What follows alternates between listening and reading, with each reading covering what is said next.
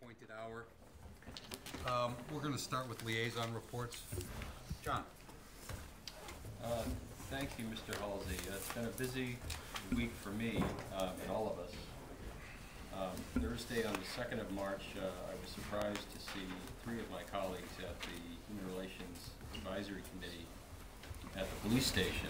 I had uh, made a mad dash back from New York um, and made the meeting with a few seconds to spare. But um, the takeaway from that, and I'll let you guys get your, obviously have your own thoughts, was that there's still ongoing discussions as to what the group uh, views as its responsibilities and how it would like to operate under. It has some opinions. Um, Most interestingly, Wakefield's Human Relations Advisory Committee attended this meeting, um, I guess on behalf, uh, by- invitation of um, Reading's HRAC Yep. and um, presented uh, their own structure and how they operate in the town of Wakefield, which is very different. They function via, um, under both the schools and the town, such that they are given issues to consider by the town manager commonly, or the superintendent. They, they form an opinion and they respond back to that town manager with a course of action. But it's, they've also got, most importantly, got a written policy that details this. And I, I'm guessing that the Reading HRAC might see some merit in at least considering that policy as a start point for their own consideration. Um, Friday, I met with Mr. Eric Burkhart, who, uh, in tonight's packet, you'll see a letter penned by Eric to us following our Tuesday meeting two weeks ago. And Eric and I sat down, and I, and I, he had some heartfelt comments, and I went, I went and kind of recited where I thought my head was at, and where the board's head was at. And um, I think he was very cordial after the meeting, and I got a very um, uh, polite email after um, our coffee at Starbucks. On Saturday, like um, uh, town manager uh, Kevin and Barry, I helped, uh, together with the library trustees and staff, welcome Congressman Seth Moulton to Reading for his town hall. It was really interesting. And I, I- I wish we had more of that, because the, um, the big draw there was most of the attendees, by my eyeballs, were not from Reading. Just a quick show of hands, and it wasn't, it wasn't less than fifty percent, it might have been fifty percent, but it was just amazing how many folks are not from Reading. Um, And then last night, together with uh, Mr. Berman, sat down with Caitlin Mercurio and Gina McCormick and began a a discussion on the request for a resolution. um, And that was just, I thought, very cathartic. There was a lot of good conversation. Um, A set of minutes was produced. Uh, Bob, is there a place where we would post the minutes on the web? I mean, I don't know what our policy, formal groups have a place to post minutes, but I'm not sure how this one will go. And Yeah, I would really go with the Was this a selectmen's. posted meeting? Yeah, Yeah, it was. Yeah, so it's got to have minutes. yeah, it'd be in the selectmen's area. Yeah. Whether we carve out something, I don't know. Can you help there, Paul? I, I believe Laura has set up something in the selectmen. Because it's really a subcommittee. It's a Okay, subgroup all right. of Yeah. selectmen, so that's where it's All right. gonna fall. And I also made a, um, an audio of the entire meeting, um, which actually came out pretty good. The room is great, it's very quiet, um, and you can hear everyone. It's a little annoying because while I'm typing, it sounds like a nineteen sixties news program with the teletype writing in the background, but, um, it's just a good way to document the the conversation.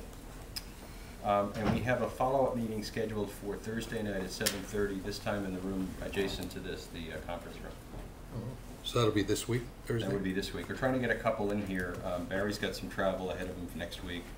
I, I canceled the conference call for Thursday night, and um, we'll find a way to get it done. Thank you. Okay, thanks. Kevin? Um, yeah, I'll just emphasize the two things, obviously. Um, John mentioned the, the two areas that we were at over the, the last week. Um, the Human Relations Advisory Committee, I thought we had a um, very um, good and lively discussion um, at that meeting. And, you know, from it, as um, John had mentioned, looking at Wakefield as a potential model moving forward, not necessarily adopting uh, word for word, but certainly looking at it from the standpoint of, um, of something that is a great starting point. the- I think the biggest difference now between, so if people are familiar, the Human Relations Advisory Committee right now is an advisory committee to the Board of Selectmen um, only. The way that's set up in um, Wakefield, they have a little bit more buy-in. So they also have not only the Board of Selectmen, but the school committee as a joint committee um, for the Human Relations Advisory Commission that they have down there. I think, Bob, the question that we have moving forward, obviously, is, is that something under our bylaws that we're allowed to do? Obviously, Wakefield must be, um, but that's something, certainly of a question of ours. It's not something, if we, if we can't, it's not something we can't work around, but that's kind of step one where we wanted to see, um, and, and get the opinion maybe from either you or town counsel. Can those two bodies actually have a joint committee? Um, Would it'd be the first thing, and then look at the structure that the Wakefield Human, um, um, Human Rights, excuse me, Human Rights Commission, uh, is what they're called. Um, Look at the structure and the way they formatted themselves, and, you know, maybe pull from that and, and, you know, kind of adopt it to make it our own, uh, would be kind of the next steps. But I thought it was a good meeting, I thought leaving there, uh, I thought everybody had a little bit better understanding, um, both between the Human Relations Advisory Committee and this board, you know, what, what I think the objective is moving forward and what's the best thing uh, to do moving forward. So I thought that was a good meeting. Um, And then, uh, you know, as always, it's a, it's always a pleasure to have our uh, legislation come back here from Washington to, you know, address the town leadership as well as address the citizens. It would, probably would have been nice, maybe next time we can, we can have a Reading-only room, if we're gonna hold it in Reading. And I hate to say that out of towns, but sorry, we're gonna put you in the next room in the satellite division, where I think most of the Reading folks Boy, it was- ended up. It was really oversubscribed. Uh, it was, and you know, I have a feeling we had them, if, if we went into the other rooms where they, they, you know, just for, to give you a quick setup at the library, they had the main room, which holds about hundred and fifty, I believe. Um, and- Right? I don't there was- there was- It, it holds what the fire chief said could hold that day. Yeah. It was only 150 in the room regardless of how many were in the room. Exactly. Um, But they, they had some overflow rooms set up throughout the library with a three-second delay, big screen um, for, j- so you could see what was going on and what um, Congressman Moulton was being asked, what, how he was, what he was saying when he was addressing the crowd. But it'd be interesting to go into those rooms, because we did the one in the main room, and Bob asked how many folks are here from um, out of town, and probably half, if not maybe a little bit more, you know, did the hand raise. I bet if we went to the other rooms, it probably would have been less. I saw a lot of people coming out of those rooms that were Reading residents more than I saw coming out of the main room, so. Just as a note, maybe next time, I guess bigger venue, but make sure we have a Reading, a Reading room in front of the congressman if he's gonna come here again, would be good. Uh, I'm sure those residents would appreciate it. Uh, That's all I have. Barry? Um, I attended a meeting of the um, trust fund commissioners, um, and most of us know the work of the trust fund commissioners through the work um, that they do with the, on the hospital trust fund and the cemetery trust fund, the two really large funds that they manage. But they also manage a large number of very small trusts set up by families years and years ago, and um, which make donations uh, or scholarships. Uh, and so at this meeting, we went through, probably made about a, uh, uh, we didn't actually make the, the scholarships, but at least gave, you know, sort of set the money aside that, um, for graduating senior scholarships will be given out in, uh, in May. So there's a, a large number of those family funds that, that, that we manage. Um, and then we also said goodbye to our, our town treasurer, who's been on that, um, committee for a really long time. And so, um, who- who's, you know, just been yeoman's work on that. Um, I was the only selectman not at the Human Relations Advisory Committee. I was in Hamilton at my son's play. Um, and, and so I, I missed that, and, but did hear from, from folks. And do want to kind of, uh, talk a little bit about sort of the meeting we had last night, the subcommittee on the, um, on the resolution that was, um, presented by some proponents here. I think we really made some, some good strides. And, um, I think that although that, um, resolution was not proposed by the Human Relations Advisory Committee, um, I think it really relates to the work I think that they're doing and the work that um, we need to do in figuring out what the next steps are for HRAC, um, whether it's a commission with a big C, commission with a little c. Um, the fact that that resolution that came before us a couple of weeks ago um, was sort of an ad hoc kind of gathering of, of people really concerned on issues, went to HRAC, um, sort of thinking that's the place to kind of talk about issues of, um, of, of inclusion and, and, um, uh, things like that. Um, you know, it's not sort of a formal proposal from them, Um, and, and, and so, but I think the two, the, the work of the two are really related in that the fact that, you know, a group of fifty people came here one night with hundreds of signatures, um, it really dovetails into the work. So I think, you know, we as a board really need to, you know, sort of pay attention to this and really, um, get on the right footing with Human Relations Advisory and, and sort of give them their path. Um, and, and, you know, help them sort of figure out what they're gonna do and what their relationship is gonna be with the town. Um, and also I look forward to sort of finalizing this, this draft. I think, um, you know, working from, uh, with Selectman Arena and the proponents, I think that there's a lot of, a lot of synergies there, and I think that there'll be a work product I think we can all be kind of proud of. But I do want to just make sure that we recognize that these are not two unrelated things. These are very much related. And the fact that so many people came out and discussed this is something that I think, you know, it's not filling potholes, it's not putting teachers in classrooms, but it's something that we as town leaders really need to figure out and, and make a priority. And that's it. Dan? Hey, I was at the HRAC meeting, I think it's been adequately reported. Senator Lewis was also an attendee there, I thought I should mention that. Uh, Oh, yes, thank you, Dan. Appreciated his uh, attending. Uh, Barry and I just met as the uh, volunteer appointment subcommittee. We are filling uh, a position on the Council on Aging this evening. We also have a nominee for uh, an associate position on the council. I don't believe there are any candidates for the CPDC vacancy that we have seen yet. Uh, And there may be others uh, coming up in the near future, so we'll, we'll stay tuned on that one. Oh, just one more point on, on, um, on uh, Congressman Moulton's visit. Um, I'd be remiss if, if I didn't, um, give a real big shout out to Amy Lannon and her staff to really turn that around. I mean, the library was open for business, and then they closed at two o'clock, and by two forty-five, they had the place cleared out, set up, um, more people than they had ever expected to show, and, um, there were so many people from out of town, I, I made a point of talking to some, and, um, the comments on the line and, and, the- and the hallway were, wow, I wish we had a library like this, so, um. Yeah, good point, good point. wanted It was a to- great job by staff. Do they want to help us pay for hours? We Some put, will accept donations. we put the hat out. So, um, as you know, I attended several of these different events with you, but, you know, we've talked enough about these tonight. You guys have done a great, very thorough job of explaining what was going on at all of them. I will, however, plug shamelessly, um, the fact that the Reading Rotary Club at our high school will be hosting the Taste of Metro North.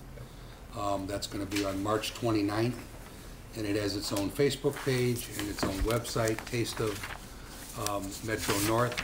And I bring that up uh, and say it shamelessly because um, they've recruited 27 restaurants to come. We typically expect uh, three to 500 um, Reading residents and a lot of North Reading residents as well.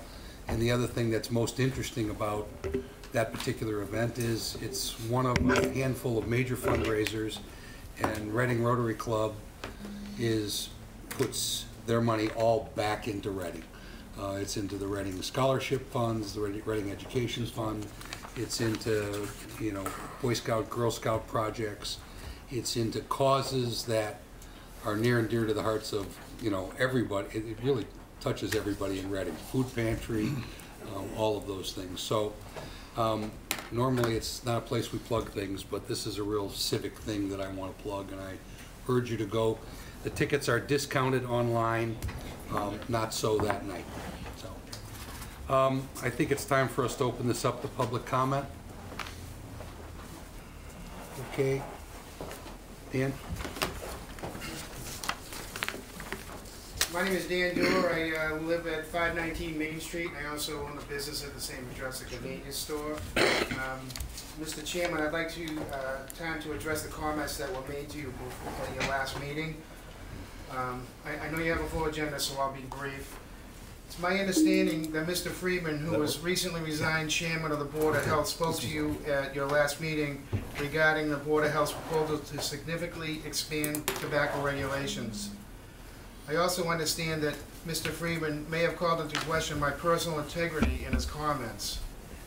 Frankly, I'm disappointed that the chair of a town committee not to mention someone who is running for election to the Board of Selectmen, as Mr. Friedman is, would go out of their way to insult a local business owner, but I will set that aside for a more important business this evening. I'm the first to admit that I have made mistakes and inadvertently sold tobacco products to a minor on two occasions in the last seven years. I, I have paid the price for that, for those two sales according to the law, and also the embarrassment of making a mistake. Let me say this loud and clear, it is not my desire to sell tobaccos to minors, ever, not even by accident. But I find it ironic when a public health official attacks local business owners like me for selling tobacco products, but they do nothing to make it illegal for minors to purchase, possess, or use tobacco like we do with alcohol. Reading tobacco sellers like me have a 95% compliance rate with regulations. That's the same compliance rate for local alcohol retailers, 95%. Nobody's talking about taking candy or fruit-flavored vodkas off the shelves and accusing them of using flavors to attract minors to drinking. The vast, the vast majority of the time, we get it right. We do not sell to minors. All the talk about wanting to protect minors is just that, talk, because the new regulations are a solution to a problem does not, that does not exist. 100% of the minors can get tobacco from any source and smoke it as much as they like, and the Board of Health could change that to zero, but that's not on their agenda. Why? Because they're not being honest, and they, they are not being open and transparent with their process. They write regulations without inviting input from the retailers, schedule a meeting, allow each person approximately three minutes to comment with no back and forth discussion. Then the Board of Health discusses, discusses it among themselves, and they're the only ones that have a vote. No democracy there. Nobody on the Board of Health has ever come to me or any other retailer to discuss their plans. I have never been asked to present evidence that we have to back up our position, that there is a way to protect minors that will not destroy my business or harm my retirement. Here's my bottom line. Board, you guys say you want to support local business. It says it wants to see more economic development in this town. The board says it's worried about the financial health of the community. At the same time, the Board of Health says it wants to protect minors, but their proposals fail to address the tobacco use by eighty percent of the minors who do, do not get their tobacco from us retailers. The Board of Health refuses to recognize the data of their proposed policy of removing e-cigarettes and flavors will actually condemn 10 to 15 million people who have no choice but to continue to smoke cigarettes and- or suffer the consequences. The Board of Health, they, they play fast and loose with the data to create the facts that they want to see. They've gone so far as to invite people from Winchester, Danvers, outside people to the town hearings uh, at the Board of Health, despite the fact that these people have nothing to do, nothing about the retail business or doing business in Reading. I- I need you guys to stand with me and help me get the Board of Health to have an honest, open, and public conversation about the other side of the tobacco story and public health. I'd like you to get them to postpone their vote and have more dialogue. It's very important. One of the things that Andrew Friedman uh, said is that, that uh, the tobacco, uh, Maureen Busby, uh, I don't know what the title is, but talked to uh, all 17 of, of the retailers. And six, and one of them, me, is the only one that complained. The other 17 just accepted it that it's, it's going to happen, so, you know, they knew it was coming down the road. Well, I'm gonna tell you, that's, that's, that's not the case, because one of guy I just talked to today, Cal up at J and K's, was on his way to India, or he would have been at that meeting with me. I talked to him today. He's back. He would like to have some dialogue on that. There are other retailers that don't have uh, the flavors, so it doesn't mean anything to them, so the, I'm telling you, if the, and the other, the other retailers feel that the fix is in, that the decision is made, so why bother? We all work a million hours a week. We, you know, we can't waste our time on something that the fix is in. But if they wanna have an open and, and fair and democratic dialogue, we would love to do that. Um, they moved their meeting to March twenty-second, They didn't even put a time on it, I got a letter, no time on it, it's just bad communication, I mean, please, please work with me. Um, I wanna do my part to help minors, I, I, I wanna be a partner, there's no partnership here whatsoever. Please ask the Board of Health to take, to, you know, to, to, to take a break and, and, and- have more discussion.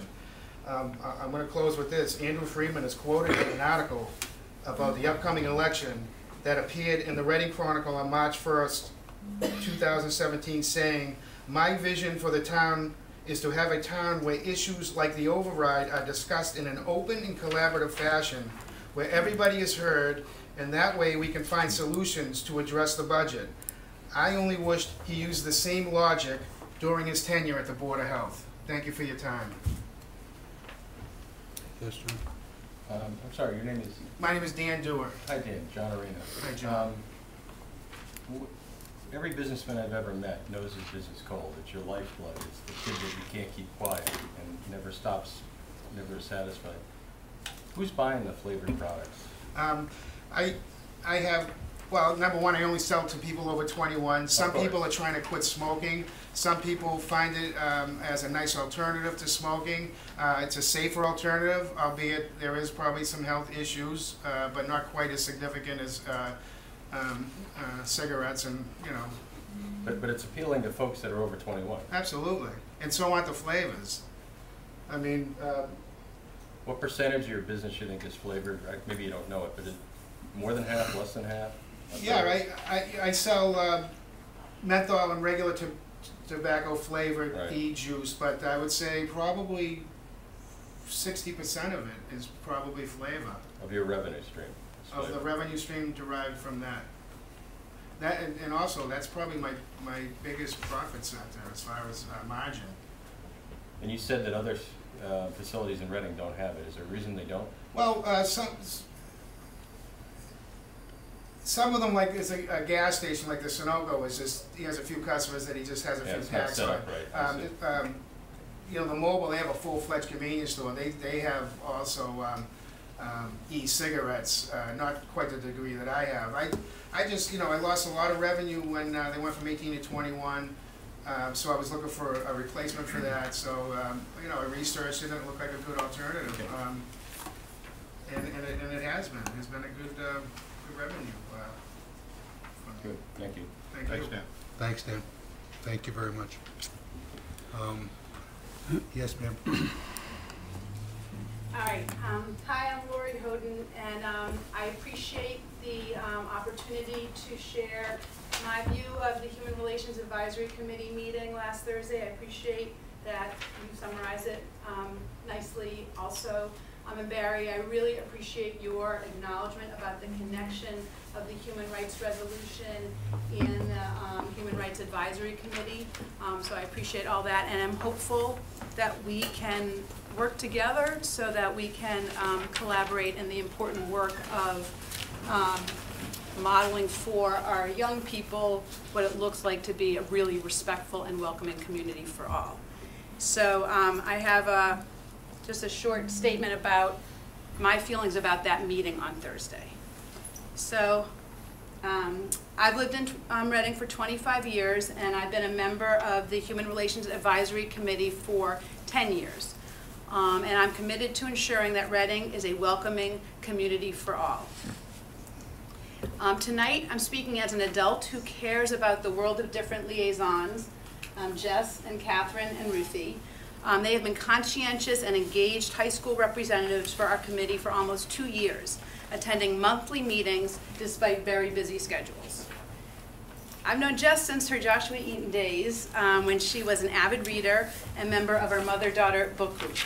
Jess has always been thoughtful, so while I was not surprised about, um, by her professional presentation of the survey um, data that she, Ruthie, and Catherine conducted with the full support and assistance of Principal Adam Bacher, I was proud of her courage to speak to a room full of adults, including many of the town leaders. Um, She spoke very clearly and um, candidly about the results of the survey, which talked about um, the uh, discrimination at um, Reading High School, or actually in the town. uh, the experiences of her peers. Um, I was upset that instead of um, taking responsibility for the data presented at our meeting, um, Mr. Arena contacted a member of the school committee to question the schools. The students were more than clear about their desire that the selectmen stand up to discrimination in town as to be models for the school. Jess even stated, I think the HRAC should be related to the town to serve the whole town, not just the schools. Um, I was just really concerned about taking the survey data and passing it on to the schools. Reading Memorial High School is not a bubble unto itself. Uh, clearly, school children learn from the choices of adult role models in the larger community. I'm also speaking as Ruthie's mom. Um, Ruthie is one of the only Jewish students in her class, as we are one of a small group of Jewish families in town. I'm motivated to speak tonight because of hateful acts outside the school, like swastikas in public bathrooms in our own town, as well as an uptick in violence, um, bomb threats to Jewish community centers, um, Jewish cemeteries that have been vandalized. Um, they are a big deal to me and my family. My grandparents, Rose and Sam Hoden, immigrated from Poland in 1932. The Nazi Holocaust ravaged our family. My grandmother, Rose Hoden, was the youngest of 13 girls, and 11 of her sisters were gassed in Auschwitz. My father never knew any of his grandparents. Given the uptick in violence, um, I am fearful and looking to the leaders of the community to take a stand against hate speech that sets a fertile foundation for more destructive actions. In February, Gina Mercurio and Caitlin McCormick presented a thoughtfully constructed human rights resolution signed by 250 Reading residents. And I'm so um, pleased to hear about the ongoing conversations and the meeting that happened just yesterday. Um, there were some questions from that February meeting that I'd like to respond to. So Mr. Arena asked, um, tell me the difference, tell me what's the difference tomorrow if we pass a statement today? Um, and I would just like to say, to answer that question, it would make a big difference to me, and I would find it reassuring if the Board of Selectmen um, signed on to the Human Rights Resolution, because as leaders of our town, you're spokesmen for our values and you're role models for our young people. Um, in addition, uh, Mr. Arena asked you asked you asked also what is an act of indifference. I asked that. Okay, I'm sorry. Correct that, uh, Mr. Um, yeah, Ensminger. Um, so um, I'm gonna. I looked it up because I thought you know it was. I'm um, assuming you asked the question because you were. Um, you didn't know. So I'm going to quote Nobel Prize winning author and Holocaust survivor Elie Wiesel to define indifference. He says the opposite of love is not hate, it's indifference. The opposite of art is not ugliness, it's indifference. The opposite of faith is not heresy, it's indifference. Um, and I think it's our responsibility, all of our adult responsibilities, teachers in the schools, administrators in the schools, um, elected officials like yourselves, that we are really clearly taking a stand against indifference. So I ask you um, to serve as role models for our young people and make it really clear where you stand on basic human rights by collaborating with concerned citizens um, and confronting acts of hatred and intolerance whenever and wherever they are found. Thank you. Thank you. Yes, Bob? I wasn't there Thursday, but obviously I- I do want to comment on one part of what you said. Um, In terms of, I don't know exactly the route that John Arena took to get information to the schools. I think he sent Gene Borowski an email. Um, I had breakfast with the superintendent today. He was very appreciative of that fact. What goes on in his school department, he needs to know. The school committee needs to know. It's their responsibility. So I don't think there was anything inappropriate with that. I think it was quite, quite proper. And I know the superintendent believed that as well, just so you know. You have to understand that we're, we're reporters, when we hear something said like that, we have an obligation to report Yeah. that to the, to people. Uh, yes, Linda? I just want to point out, I'm actually um, on the school committee and a liaison to the Human Relations Advisory Committee, and I go back and I do present what goes on at our meetings, and I present at our meetings. I, I meet with the superintendent and I present at our meetings, and you can hear my presentation last night um, at our school committee meeting as well. Okay, great. Uh, Other public comment? Yes, sir. Thank you. I know you have a heavy agenda, so I'll be brief.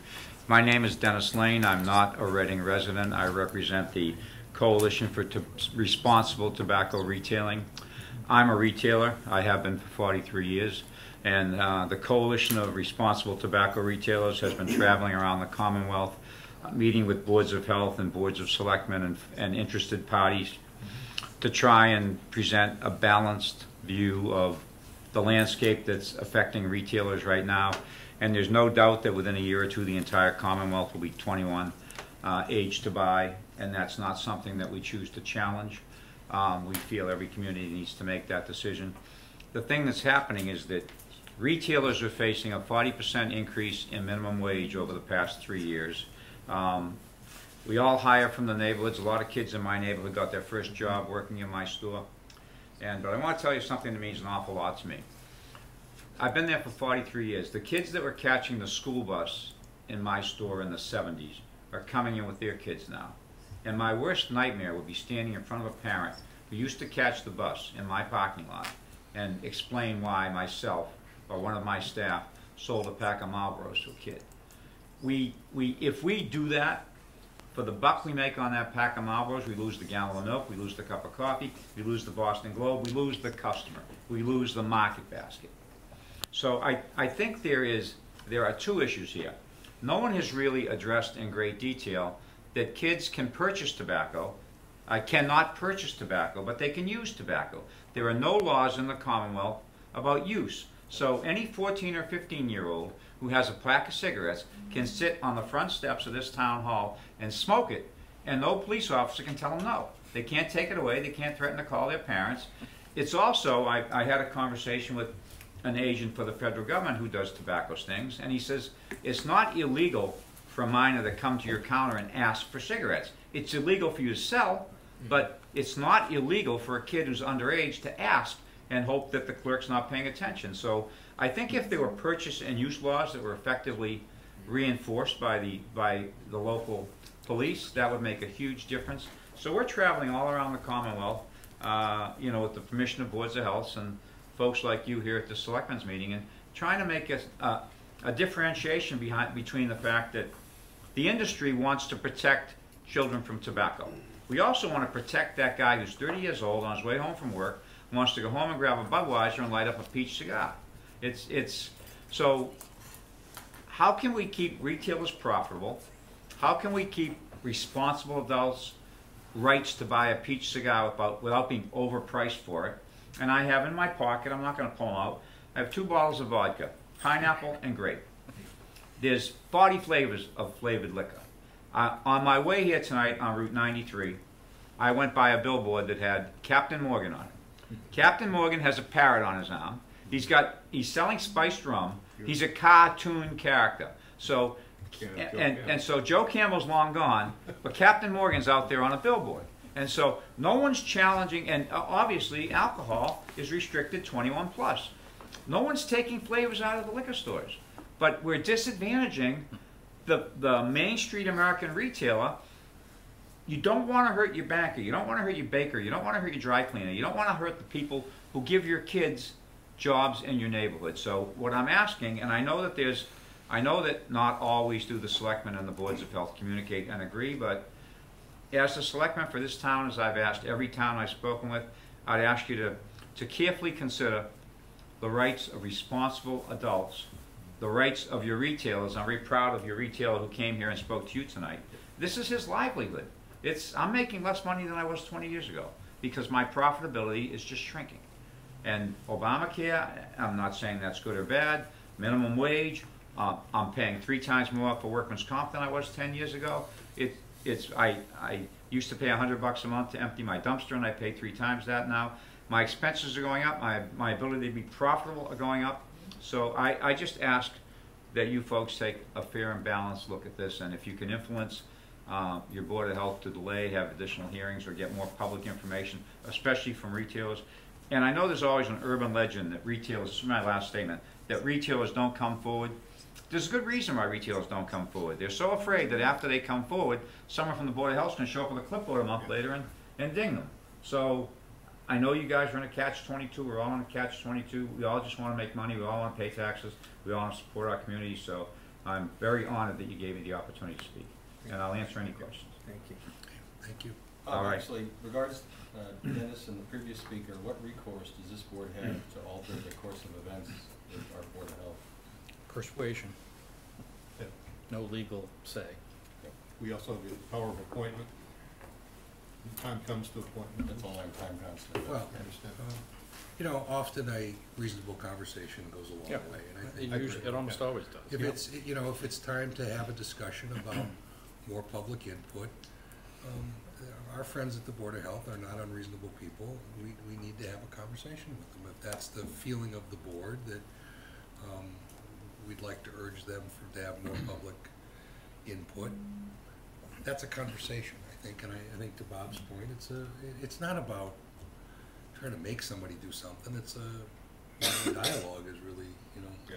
Yeah, I was thinking more, how do you open up, how do you encourage the conversation we can, we can ask? Well, I mean, conversation like we're having, like, you know, one of the previous speakers spoke about, and we've been having, you and Barry have been opening a conversation. These came as a result of public comment. And, you know, I mean, that's kinda why we have this. And, you know, I, I was, I, I mean, I know that public comment is not a statutory requirement of a selectmen's meeting. But in Reading, it is our habit, um, because we think a dialogue is really important. And so that's what we're gonna do. I appreciate you coming. I appreciate the opportunity. I think if you control it to twenty-one, you solve a lot of problems. Thank you very much Okay, for coming in. thank you. You're welcome. Um, Other comment? Yes, ma'am, in the back.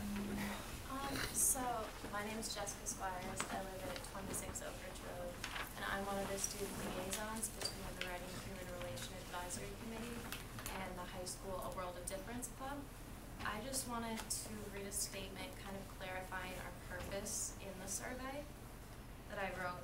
I wrote it for Linda last night, she wanted to give it to the school committee, they, she didn't have time to read it, but I just wanted to make sure that it was shared.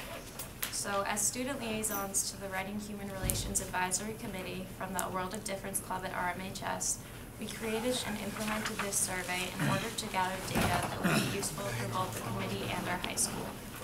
After the Board of Selectmen expressed interest in the, in the prospect of the Reading Human Relations Advisory Committee gathering more responses from Reading residents about discrimination in town, we decided that conducting such a survey in our high school would be a great way to collect a large amount of data. We drafted and conducted this survey with the aid of our principal, Adam Bacher, whose help we greatly appreciate. Our survey, which was conducted in November, garnered a total of 415 respondents. With the data we now have access to, we hope to move forward in the shared mission of A World of Difference and the Human Relations Advisory Committee to ameliorate our town and school communities for all residents, regardless of race, religion, disability status, ethnicity, gender identity, sex, or sexuality. We stress Reading students' express desire for their town to take action regarding discrimination through a variety of suggested methods, both proactive and in response to incidents. And I'll be meeting with Mr. Bacher this Friday to discuss some future projects for the World of Difference Club. We were supposed to meet Tuesday, but something came up in his schedule. So I look forward to continuing to work with you guys. Excellent. Thank you very much. Good work. You did. Yes, yes, John. Um, Jess, how many people are in the World of Difference Club? What's the total attendance, or what do you typically draw? I'd say the average acting group right now is about seven people. It definitely used to be much larger, but I've noticed as a whole club participation has gone down in the schools. And is this just seniors, or is it open to other schools even? It's currently, well, there is, um, I'm pretty sure there's still a branch at the middle school, but currently the club is open to everyone in the school. We're working on recruiting more, and we, it's not only seniors. We do have some juniors, and we have had some sophomores attend our meetings, and we would really love to get some more people involved with it. Good, thank you. It's excellent. And you've done, I said this to you the other night, the amount of surveying you've done is tremendous. I mean, the fact that you've gotten hundreds of responses really forwards the discussion in a very positive way. I'd like to compliment you on that. Yep. Yes, sir. Hi, I'm Tim Brooks, uh, 37 Curl Street, been here for about 35 years. Um, I came to support Dan's position, and um, what what I really wanted to say is, you guys are are asking Dan to police our kids. And it's the parents' responsibility to go out there and watch what the kids are doing, be it alcohol or tobacco. They could show up with a false ID and, and present it to Dan. He might not know the difference, but he'd still be responsible for selling. That problem is between the kids and their parents, and they should take the responsibility for it. Um, I, I don't know how else to say it, but if, if you push that responsibility off on somebody else, it's not going to get done. I've watched Dan card people because I'm a daily customer of his, and and he's re, he's he's rejected kids to come in. I've I've seen him do it. He's he wants to have a, a lucrative business so he can make a living, but it belongs to the parents to keep those kids out of that situation. Thank you. Thank you Thank you. comment. Yes. Hi. Erin Calvo-Bacci, and I by no means will disparage anyone who smokes tobacco. We are not a family that does, but to the point of policing, I went on Amazon and I could purchase flavored tobacco products. And so I did speak before the Board of Health because I really want tobacco to be treated the same as alcohol. My children do not smoke, we're not of that family, but that doesn't mean kid, we're not going to keep kids from being able to get these products until we change the laws, whereas we can have our police treating minors in possession with tobacco hmm. the same as alcohol. That is the bigger concern. That is a very big concern to me. It's a concern that three children at the middle school were in school suspension for having vapors. And the, the irony of that is they may not be able to use them in school, but they can use them outside of the school. And if we really want to protect our children, which I need help in protecting my children, then I need tobacco to be treated as the same as alcohol, please. Thank you. Yes, Barry. So, I I have a, a question for the chief on that. Um, Chief, Chief, I, I have a question. Maybe, maybe you're not the right person to ask, but um, is if we wanted to make it in Reading, um, uh, you know, misdemeanor or, or, or crime for under 21 to possess tobacco, is that a state law, or could we do something I in don't- Reading? We'd have to check with Ray, but I don't Yeah, think I don't think you can do I don't that. think you do it. So that, so that even if we wanted to, have to go to it's well, we could work through our delegation. Right. Yeah. Have something done. Right. But I will make a comment. The gentleman said about the fourteen and fifteen year old smoking on the town hall right over here. I can guarantee if one of our guys shows up and there's a kid smoking over here, we'll be calling the parents and taking the cigarette. If the parents are upset at that, we'll be filing a fifty-one A against the parents, okay, with DCF, because I'm not gonna tolerate that either, so, all right, thank you. thank We you. know you're doing it Fair right, enough. Chief. Uh, Bill, just a second. I- Somebody's been waiting. Yes, sir. That's right. Hey, Thank you. I'm just gonna stand here because I don't have my back to anyone. Jennifer Hillary, one eighty-three High Street. Thank you, Mr. Halsey. I'm here tonight because as I saw the last agenda come out last week, it occurred to me that there was no discussion on the agenda about the, o- an override. And uh, it gave me pause because last year around this time, uh, as I reviewed my notes, uh, this board and the town manager were actually uh, starting these conversations in a, in a substantive way. At the end of February last year, um, our town manager had given a financial overview at this meeting and a timeline for the override was discussed. And it was also discussed what topics surrounding the override would be discussed at subsequent meetings. The beginning of March, our town manager wrote an excellent financial overview that went into the papers. On March eighth, the Board of Selectmen actually voted on the October eighteenth date. And by the end of March, uh, override ethics rules were discussed. And I just wanted to encourage the Board of Selectmen to consider uh, a similar timeline. There are certainly different issues that this board would need to discuss uh, should an override be placed on the ballot in the fall or the spring, which includes, uh, a- again, a discussion of when they would like the over, when you would like the override to happen. And further, uh, how are the Board of Selectmen going to reach out to voters to find out uh, what, what would make voters support an override in the future? I know that it's been discussed, the amount of an override, but I, I think that it's not the only reason folks voted against it in the past night. And I just wanted to encourage the board to not lose momentum on this issue. I think since the financial forum in January, and I know that your agenda has been full, that, that you continue to do great work, but I really would like to see this town continue talking about this issue substantively. Thank you. Thank you. Other public comment? Yes, Mr. Brown. Um, For information, anybody that wants to file an act to prohibit or arrest uh, pa- juvenile supply of cigarettes, they have the right to do through through the state legislature. And you have to file your legislature. I filed several bills, they've all ended up in the trash barrel. Didn't even make it to committee, huh, Bill? No, but, you know, That's a good committee. The issue that I was looking for got solved, it was on the open meeting law, so. Well, there you go. Yeah. But you, you do have that right, under the Massachusetts Constitution, and he has to file it for you. Good point. And, and you have the right to sit at the public hearing. Because my grandson, son on the way out, they don't know who they're dealing with, do they?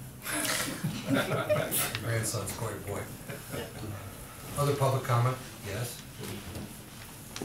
The Nisto Dockser Beaver Road, um, Human Rights Advisory, Human Relations Advisory Committee and the School Committee. Speaking for myself, I can't resist saying how proud I am of our students. um, That they had the voice at our meeting and beyond to come here tonight to voice, to explain what they did with the survey. Um, I'm really proud of them. And I also wanted to elaborate a little bit on, I did give a report on um, last night and included just a lot of what you had said, although I did not read the letter. And um, I just wanted to elaborate a little bit about um, what the schools have been doing in order to empower students and um, make sure that we are addressing the needs of our community. Um, The schools have core value and character education programs in every school, have extracurricular clubs like AWAD, the GSA, and student government. Speakers like Michael Fowlin, Rosalind Rosalind Wiseman, Holocaust survivors, and even this last weekend's drama production, 1776 which intentionally tried to empower our students and get them thinking about positive conversation and perseverance.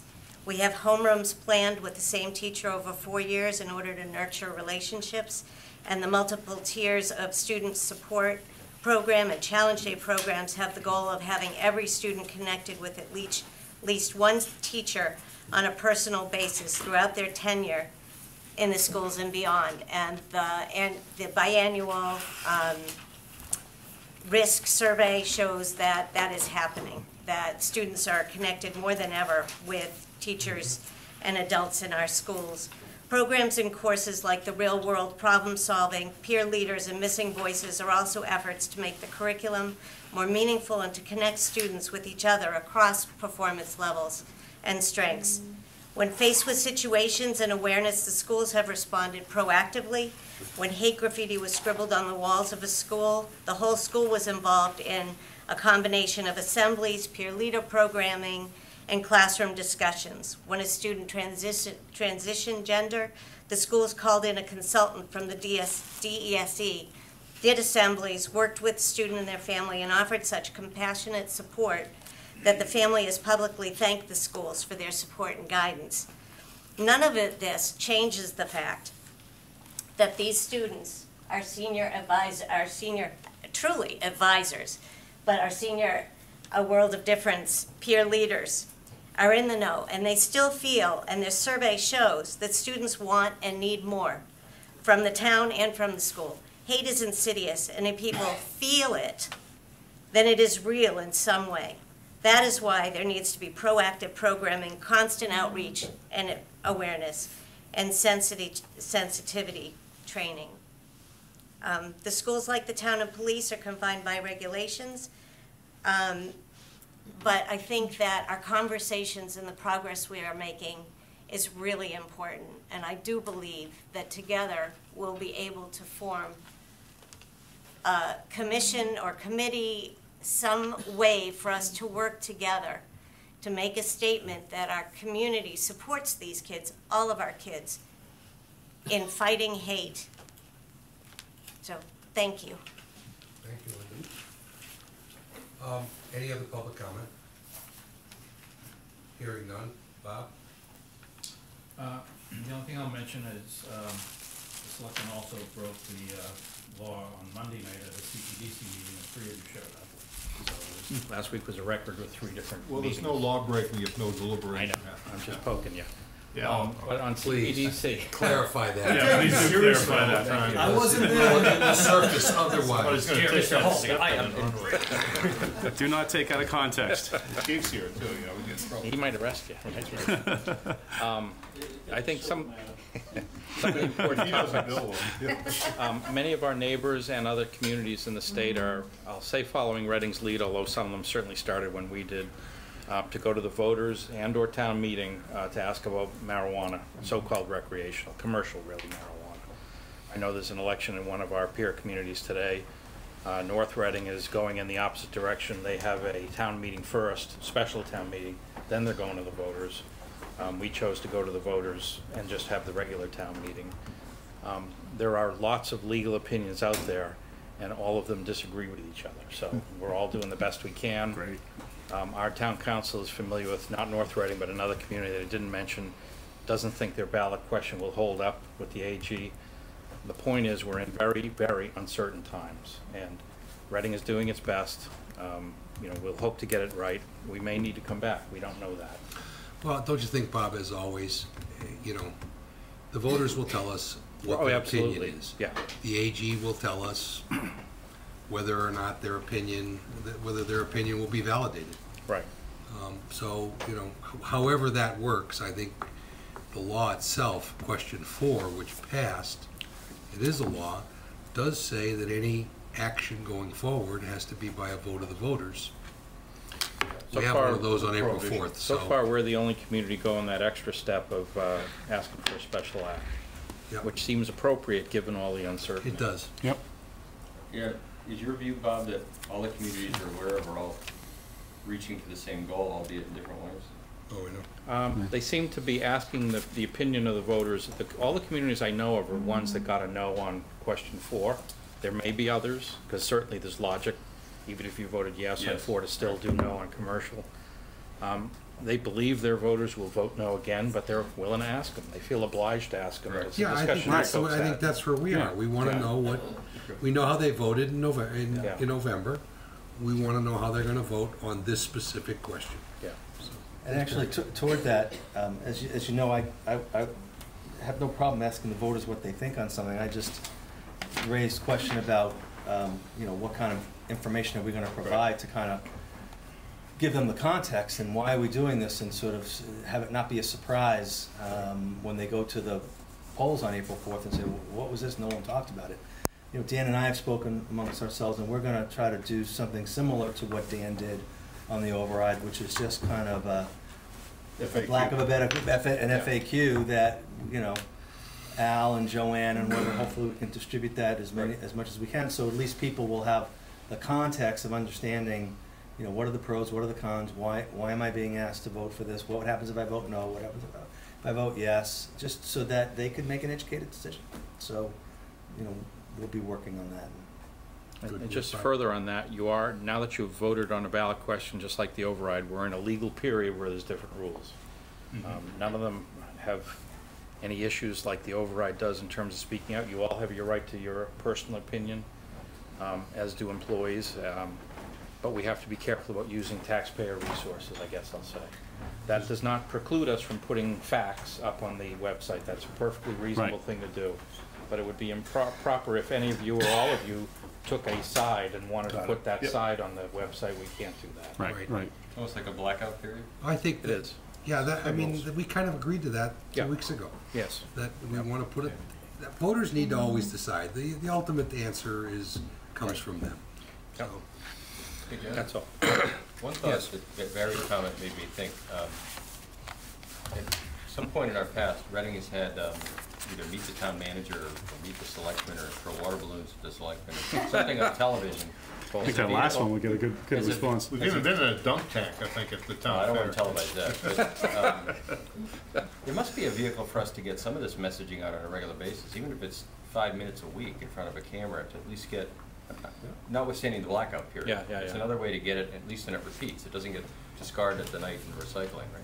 Yeah. There used to be a forum, uh, which was on RCTV, where all five selectmen and Peter would appear and take Yep. Right, right. calls on the phone. Right. They're all from Bill. Bill was the only phone. Well, now that we have caller ID, that, Well, we could do a live audience and just have Bill there. I so. I know where the studio is. Bill from Reading. Hello, hello, seven All one. right, we can't get punchy at this early in the morning. Sure we can. Okay, that's it. you good? That's all. Thank you. Okay. So, um, it looks like we're, we have an appointment. Yes, uh, Mr. Chairman? if I Yes, could? please. Uh, This evening, uh, the Volunteer Appointment Subcommittee interviewed two candidates for the Council on Aging. Uh, Joan Coco, who is a 44-year-old, year resident of Reading. Uh, She's been active down at the senior center. Her husband's been very active in town politics, uh, her husband Dick. And uh, Janice Stafford, 13-year uh, Reading resident with a legal background, uh, great interest in uh, uh, pro bono work for the elderly and the poor. So both candidates presented tonight, and we have made, I'll make the motion as we have recommended. Move that the Board of Selectmen accept the recommendation of the Volunteer Appointment Subcommittee as follows. Joan Coco to a position on the Council on Aging with a term expiring June 30th, 2019, and Janice Stafford, an associate position on the Council on Aging for a term expiring June 30th, 2017. It was a difficult decision, but uh, we felt we'd go in this direction, and Janice certainly would be uh, a prime candidate to move up should there be any other. Both agreed that they would take either They, position. they did, we asked Okay. both. Okay. yeah. Any further discussion? We need a second. We don't have a second. Second. All right, any further discussion? two good candidates, lucky to have them both. Yes, Good. amen. Great. Always happy when the volunteers come. Um, If I hear no other discussion, then we'll, all those in favor? Okay, five oh. On we go. Route to the, uh, oh no. Sorry, we're, we have sorry we're running a little late, Colleen, but you're on. Hi, Colleen. Good evening. Good evening. We'll make it, Have a uh, seat. Do you want to sit down or do you want to stand? Oh, well, I was gonna switch. Whatever you think. You can project. I can do that. if Thank you for the public comment, too. We Thank do you very much. appreciate you coming. Have a good evening. All right. Night.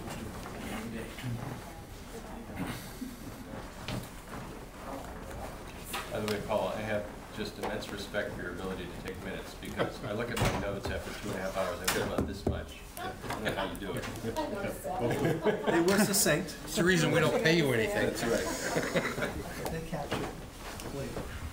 Before I start, I just wanted to say I had the opportunity to go down to the uh, American Public Power um, legislative rally down in Washington. It's the first time I've been. Had an opportunity to meet with all the senators and the congressmen, Moulton, and um, to discuss, um, you know, uh, where the municipals are with respect to all of the changes that are going through ISO and those things that affect uh, the independent operating utilities or investor-owned utilities, and to make sure that they understand our exemptions, uh, and, um, you know, and to protect the locally controlled and locally owned municipals throughout the state. So it was a, a very enlightening, um, it was a very enlightening trip, so. How many um, independently operated municipals are there in the state of Massachusetts? There's forty-two in the state of Massachusetts. Wow. So, um, it was a great group and it, It's easier um, here than other places. yeah. Um, But we don't always have the opportunity for FaceTime with the ISO, you know, they meet on a regular basis with, uh, with the congressman, and um, so it's, the American Public Power does a rally throughout the country to make sure that they understand that, you know, we're vertically integrated, we're not set up, you know, we, we don't have a large race, rate base, and, um, and we, we do have a lot of exemptions from um, the different types of regulations that are, that control the, uh, the How long was the event itself? Uh, three days. It was, uh, Monday, Tuesday, Wednesday, so. Anyways, okay, well, um, thanks for having us. Um, this is, uh, our second, um, biannual, uh, meeting. Uh, so far, we've met with each of the town managers, and this complete, this tonight will complete our third selectman presentation. Uh, we have one more to go, which is in North Reading, and that's scheduled for April eighteenth.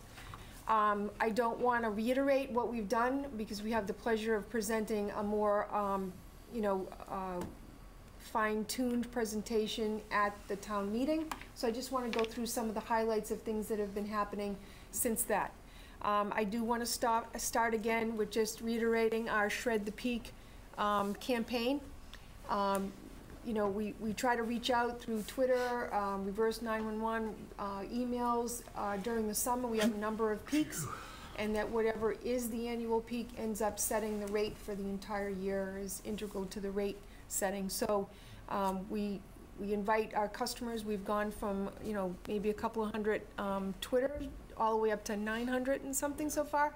So we're reaching out to a lot of people, and, you know, that curtailment during the, um, during the peak hours really does help everyone in the town in, in everyone's rate. So we're, we're gonna continue that campaign. Do you have a Um, chart you'll share with the periods of time during the year when you've been above your, your intermediate load? Do you have a way to sh- to show that? Is that part of your slide? Uh, well, typically, I don't have that slide with me, we, we can certainly send you That's one, fine, but that's fine. typically we'll have, I think last year we had several peaks, so, okay, they, they call it, this is gonna be our peak, and then maybe a couple days later, there's another, there's a hotter day, and then there's Primarily another peak. summer. So there might be five or six peaks, and then the ISO will say, okay, this is it, and whether or not it's coincident, uh, exactly with Reading, and then it's calculated out from there. But, I mean, Jane will go through quickly the number of programs that we have on how we, we shred the peak. We have some that are internal, we have some with our customers, with our residential customers, so we, we work with all the rate classes, including, uh, taking responsibility at RMLD to make sure that we can lower it as well. Um, so, I have with me tonight Jane Parenteau and uh, Hamid Jaffari. Uh, They are my assistants and uh, the directors of our largest divisions, Integrated Resources and um, Engineering Operations respectively. And I would like to give them an opportunity to speak on some of the RMLD successes under their direction. So I'm going to turn it over to Jane first. I can just speak right here, is that fine? Okay. Yeah, that's fine. Thank you. Yeah, no big deal. Um, Thank you very much. So some of the things that we've been working on in Integrated Resources is um, community solar. Um, In a couple of slides, I'll tell you what the, uh, an actual uh, project that we have up and it's installed, and we have membership in that. Um, But we also are reaching out to the four communities that we serve, and if there's an interest for us to partner up and to explore opportunities to use town buildings or facilities, we're more than happy to do that. Um, and Colleen will follow up with Bob if that's something that um, the town of Reading is interested to do in the future. Um, if we were to do an RFP, um, we just want to emphasize that the fina- financials are really dependent on the site, the structure of the roof, how large the array is, the type of array, whether it's a canopy, roof mount, uh, that all plays into the financial incentives. And it's very important to realize, because we're a municipal light department and we're vertically integrated, vendors cannot come in and supply electricity to our customers. So th- the light department has to buy the offtake of the power, um, and either the town or a commercial customer would receive either roofing, uh, infrastructure benefits, a new roof, a lease payment, and the town would, uh, be, uh, receive property taxes for that equipment on top of the roof. So it's important that all three components work collaboratively so that um, it, it becomes a workable and feasible um, opportunity. Um, we are working with, uh, we do have a commercial site in Wilmington. We have a thousand megawatts where we have 500 customers within our service territory who have signed up for community solar. Uh, there's been about 169 Reading residents who have participated in that, and that's pretty reflective of the customer base. It's about 34% of the 500, and that's reflective of the demographics of how many customers are in Reading versus the surrounding towns. Jen, did you just say that the solar output from that project is thousand megawatts?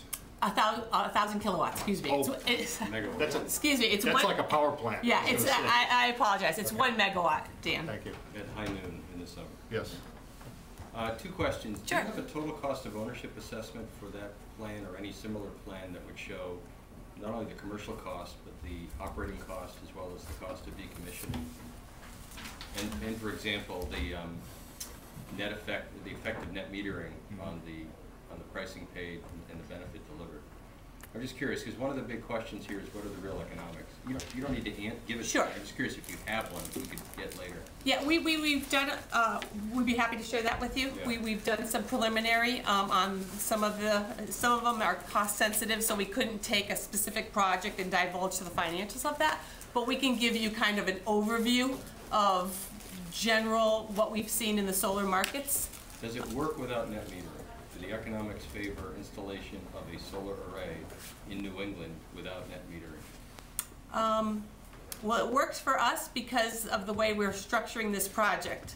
So the way we've structured community solar is customers actually are buying or are responsible for the cost and benefits of that power. So if, if we take the example that we have in Wilmington right now, uh, we've signed a, a purchase power agreement for um, the offtake of that power, and it's at a slight premium over what our average cost or our fuel charge is right now. So during the first year, it's projected that those customers will pay approximately a $5 premium um, for that benefit of that solar project within our service territory. Um, It's also projected because solar is on during our peak period, which is the summer, uh, those participants who have signed up for that project would receive the benefit in terms of the capacity and the transmission savings associated with that. And so the models that we have forecasted over a 10-year period, those customers are forecasted to receive overall about a $300 um, payment above and beyond the $60 premium that they're paying in the first 12 months. So you're pricing it just above the cost of fuel to generate the same amount of capacity? Correct. It's essentially an extension of the, of the power production base? Correct. But you don't have the capital cost to build it or the cost to decommission it and that total cost of operating? Uh, No, because the developer owns, owns the solar. I see. The RMLD does not take ownership of And you're that. not bearing that cost either? Okay, Correct. all right. Hmm. Good, If I thank could you. just ask a quick question. Sure. I know the the economics change all the time, but how do tax credits play in now? Are they a factor? Um, they are factored, and I think they've been extended the- for the tax incentive credits. That's what I. um, through the end of uh, 2017 or 18, and it all depends with the new uh, regime. But they, but those are definitely factors, along with the state incentives for the SRECs, and that is being changing as well. So it, it's a moving target, and you know, one project may not be exactly the same as the second project because of the timing and the market and the uh, infrastructure. Did I understand you to say this is actually generating RECs as well, this, this program? Renewable, renewable energy credits? Correct, because it's solar. And The are we vendors monetizing those, or what are we doing? The vendor, the vendor retains I those see. be- in order to finance the project. Uh, so if I can That follow, makes at sense. one point, I don't, I don't know if it's true today, we needed the third partner for that reason, it was the tax credits. It doesn't Correct. do you any good, it doesn't do us any good, otherwise we could own the asset. Probably Of course, allows we the then wouldn't get property tax either. We also have the expense of installing it and all that. Yeah. Right.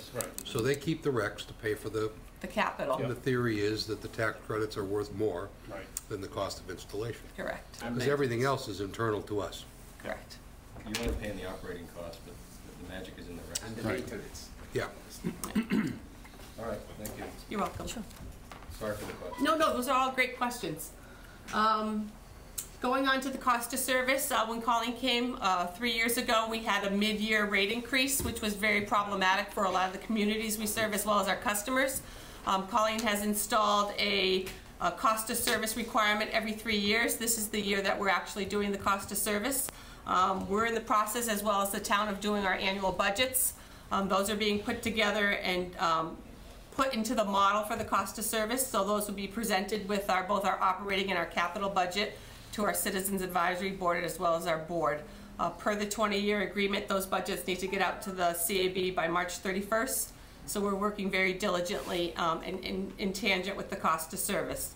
Uh, based on last year's uh, preliminary six-year uh, model, uh, we're, we're um, estimating a approximately three to four percent overall increase um, in our, our cost to our consumers uh, beginning on July 1st. That's three percent in year one and it carries forward, or three percent No. cumulative? Just three percent for that year one. Just a step function in its. Correct. Okay. Correct. Can you, can you sort of lay out, um, even with that rate increase, I know we had one last year and we we have one this year, um, what the comparative cost of electricity is to the average homeowner in Reading with RMLD versus if we had, you know, another carrier, or like what Stoneham or Wake, or Sure. Wakefield has their own, but. Um, it's, it's significant. Uh, If, if, if someone who is served, um, who uses, uh, this is just a December comparison, and again, rates change for us uh, on a monthly basis because of the fact that our fuel, we- we're tracking our fuel, and we have a deferred fuel reserve cash account. Um, so in the, in, in the wintertime, it may be up slightly because of the gas shortage within the New England, and then it decreases this month, it just dropped by a quarter. So they, they, they change somewhat, um, Is that a revolving account? Is that the way to think of that? Yeah, it's a, s- it's, it's a way to stabilize our fuel charge. Stabilization. Right, Correct. thank you. So we don't have huge, uh, Thank you. Makes- spikes for our customers. rates. Yeah. Um, so for example, in December, an average customer who used seven hundred and fifty kilowatts paid hundred and ten dollars to the RMLD, uh, for their electricity use. Uh, if they were in National Grid Service territory, they would spend about hundred and fifty-three dollars. Um, and if they were in Boston Edison's, it, it would be hundred and forty-eight, so. And since all this power comes from the same dam or the same source or the same similar arrays, this is all essentially better operating costs. You guys are, you're starting with the same raw materials, right? You're paying largely the same fuel cost to generate it or to buy it. So the, the, the cost down, the thing Barry's poking at is, you guys are just better at delivering. You Well, it, it's twofold because uh, investor-owned utilities are no longer vertically integrated, so they have to go on the spot market every six months for standard offer.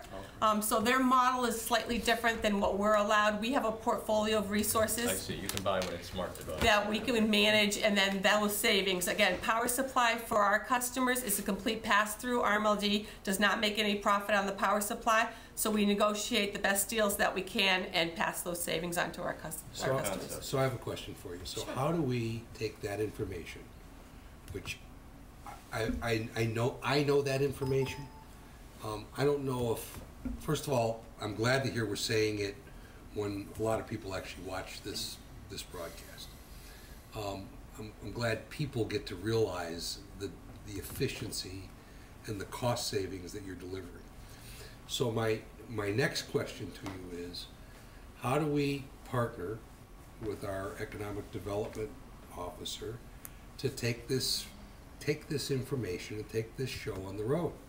Because, you know, when you think about it, there are really three things that cause developers to look at major projects. And, you know, one of them is transportation, the other one is location, and the other one is energy costs and the, the kind of person that, you know, should be locating because of transportation and location happens to have the best deal in the state, I think, um, on energy. So I'm suggesting we need to take this show on the road. Here's our show. This is, uh, this is actually a slide that we used um, a couple of years ago, it's been, right?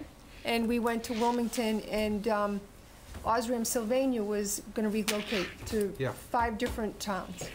And so Jane and I went in, and, and we went through everything that we had to offer, um, and they ended up picking Wilmington, which was um, great I for bet this was a economic- driving reason for that to happen.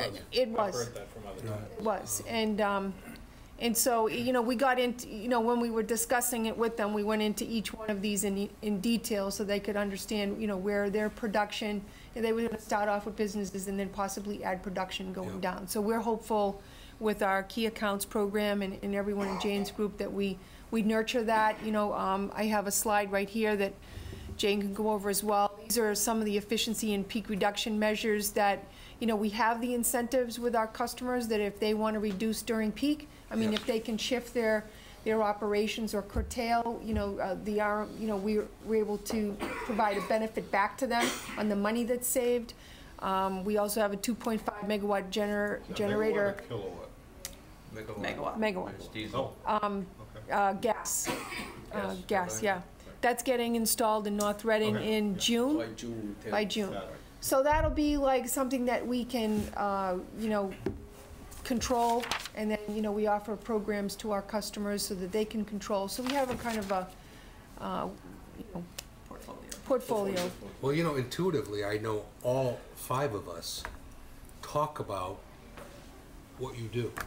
You know, when we're, when we're trying to talk, you know, talk to, you know, developers about Right, the right kinds of projects to have here. So I think the idea of, I mean, knowing it intuitively, saying it is one thing.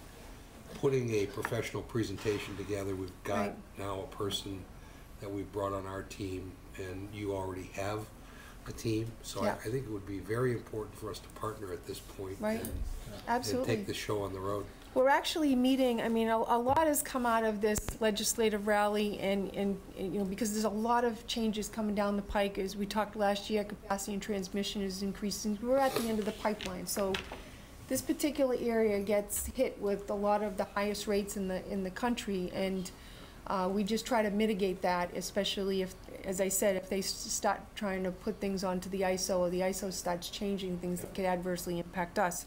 Um, so we're, we're to the- working. The long-term plan of, the- of the state to rely on hydropower and uh, offshore? Yeah, those, so, yeah, we're gonna be talking about those, You we're supposed over to that meet. in your presentation? Yeah, I just, no, I, I just wrote letters to all of, everyone in the state, uh, on that issue, and And we have some meetings coming up on What that, is but. your position? Um, personally, uh, or on, okay, to well, uh, there's a lot of, um, municipals that, uh, not a lot, but there are some municipals who feel like taking the, taking a declaratory judgment stance, uh, on authority to say we're exempt from that. And, and while, uh, the RMLD is, is part of that, I, we've also written letters to say, but we would like to sit down and discuss how we can tell you how we can get there instead of you telling us like how that. we're gonna get there. Because the, the, the the authoritative approach, and I think Jane and Hamid are both with me on this, the authoritative approach is, is fine, but it's, it's not necessarily best business practice, and it's, it is gonna come down the pike, and I'd much rather lay out our own roadmap than have someone tell me how to do it, because then it's gonna make, be tough, and it's gonna be expensive, Yep, and, exactly. and, um, so that's my approach, that's what the letters that we're sending out. But tomorrow, we're meeting with, um, Peter Milano, who is the state's, um, economic development. Right on target, right on cue, right on. Yeah, Mr. Economic Right Development. up here, Oh. right up here. Po- Power and development. So Peter Milano is meeting, uh, we're, we've kind of teamed up with Energy New England and Vin Ragucci, um, that lives in North Reading, and we're gonna be meeting with the state. And, and certainly each of the towns that we, uh, service has a different perspective on, um, economic development, you know what I mean? You know, Lynnfield is different from Reading and different from Wilmington, whatever. So we're very careful to make sure that we work with the towns to see what the towns want to do. One of the meetings why, reasons why we're meeting with Peter is to really just find out what the state's process is. What, what are the elements that they look at when they're placing someone or whatever, so that we're able to provide them with our lists. Um, you know, so that when they come talk to the town, it's kind of, it- it, it's kind of a, a dialogue that's already occurring between, um, hi, I've Yes, never that's met Andrew. you. Hi, Andrew, nice to meet you. I'm Colleen, this is Jane and Hamid. We're, we're on our biannual RMLD update. So that's, um, do you know Paul, Paul Mari- Molino? Peter Molino. Peter Milano? Milano, that's it. Yeah, we're getting lunch next week. Oh, lunch, oh, we got him first then. We got him tomorrow. So, uh, I'll have Jane give you a call and we can give you some feedback of our afterwards. meet, okay, great, great. Okay, I'm sorry, Jane, go ahead, take it, you take it back. Oh, so, um, as Colleen said, when we met with Wilmington and Osram, and they were contemplating whether they wanted to locate in New Hampshire, in Wilmington, or another, uh, facility, we kind of went over some of the, the programs that we have. And so, uh, RMLD's commercial rebate structure is based on peak demand reduction. So we'll give commercial customers up to a fifty thousand dollar rebate depending on the application and how much peak reduction that, that benefits RMLD as well as all our consumers. Uh, we have a commercial lighting initiative program where we'll pay up to twenty thousand dollars uh, for LED lighting upgrades. We've worked with the town. Uh, we did the Joshua Eaton School. We've done some buildings. So we work collaboratively, um, and that co- commercial customers are able to get twenty thousand dollars per year um, to make those upgrades. Um, so we would welcome that opportunity to uh, investigate other opportunities here in Reading. Um, we have, uh, we're rolling out a residential appliance rebate program. Right now, we're, uh, one of Colleen's missions is to kind of go paperless. Um, so right now, the rebate program is if someone was to buy an energy efficiency rebate, they have to print out a piece of paper, fill out the application, mail it into the RMLD. It's very cumbersome. What's wrong with this picture? So we're hoping to outlay uh, a web-based online system where people can go submit the information and it will be more efficient, um, more productive, um, and it'll be better for our consumers. One of Uh, the problems we have with conservation, like putting LED lights in, is it actually raises the incremental rates. You must have the same problem. People buy less power, you have to put your fixed cost over a smaller variable pool. Yep, and that's why we have programs like our electric vehicle charging station, uh, where we're trying to promote um, kilowatt hour usage off peak.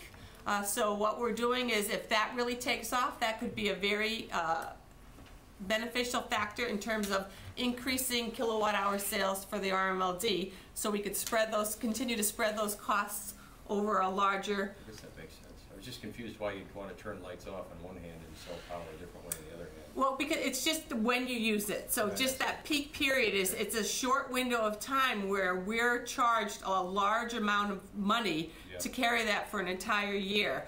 Um, but, um, if you get heat pumps and you're able to use, if we can take away from the oil company during the winter period and, and sell electricity, it's more cost effective, it's more efficient. And so we're exploring opportunities for RLD, where do we go in the next generation? Because uh, you're right, efficiency erodes our, our kilowatt hour sales. And if you look historically, our sales have been flat to declining over the last 10 years. Um, and so we're looking at ways, you know, the model's changing. What's gonna, the next thing for us to um, sell more kilowatt hours? And that fifty K number of savings you mentioned earlier, what's that as a percentage of savings? It's fifty K dollars, but in terms of the total spend, how much does it reduce? It's fifty K of what larger number? Um, that's, that's the maximum uh, rebate that we'll allow.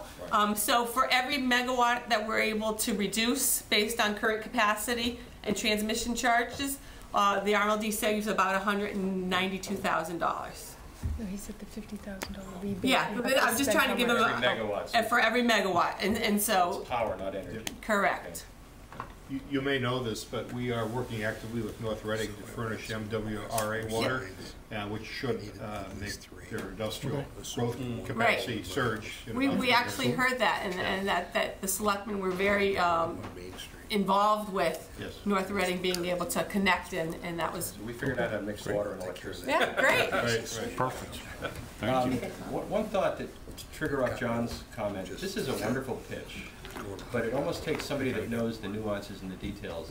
I almost want a headline that says fifty percent lower energy cost when you move to Reading. It's, it's the, it's part of the Andrew pitch about why Reading, and it's probably on page three or four that says lower energy costs. Mhm. And the bumper sticker reads, whatever it is, thirty percent lower cost, forty percent lower cost in Boston or Haverhill or blah, blah, blah. Right, right. Just We go thought. back to It that- just grabs the eyeballs, right, and then you can continue the conversation. Uh, I was just, you want to talk about the Vo- uh, Volkswagen? I went by it. Oh, yeah, The um, EV. as a result, Yeah, that's as a result of the Volkswagen settlement for their emissions, uh, they've Oh, okay. donated two billion dollars for, um, donated, excuse me. I'm sure they're required to They've pay, mitigated. excuse me, my words aren't coming out appropriately today. Um, two billion dollars towards non-emitting fuels.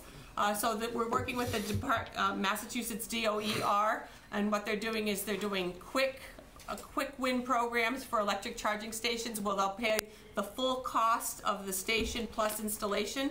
Uh, so we submitted, um, preliminary proposals for ten different stations.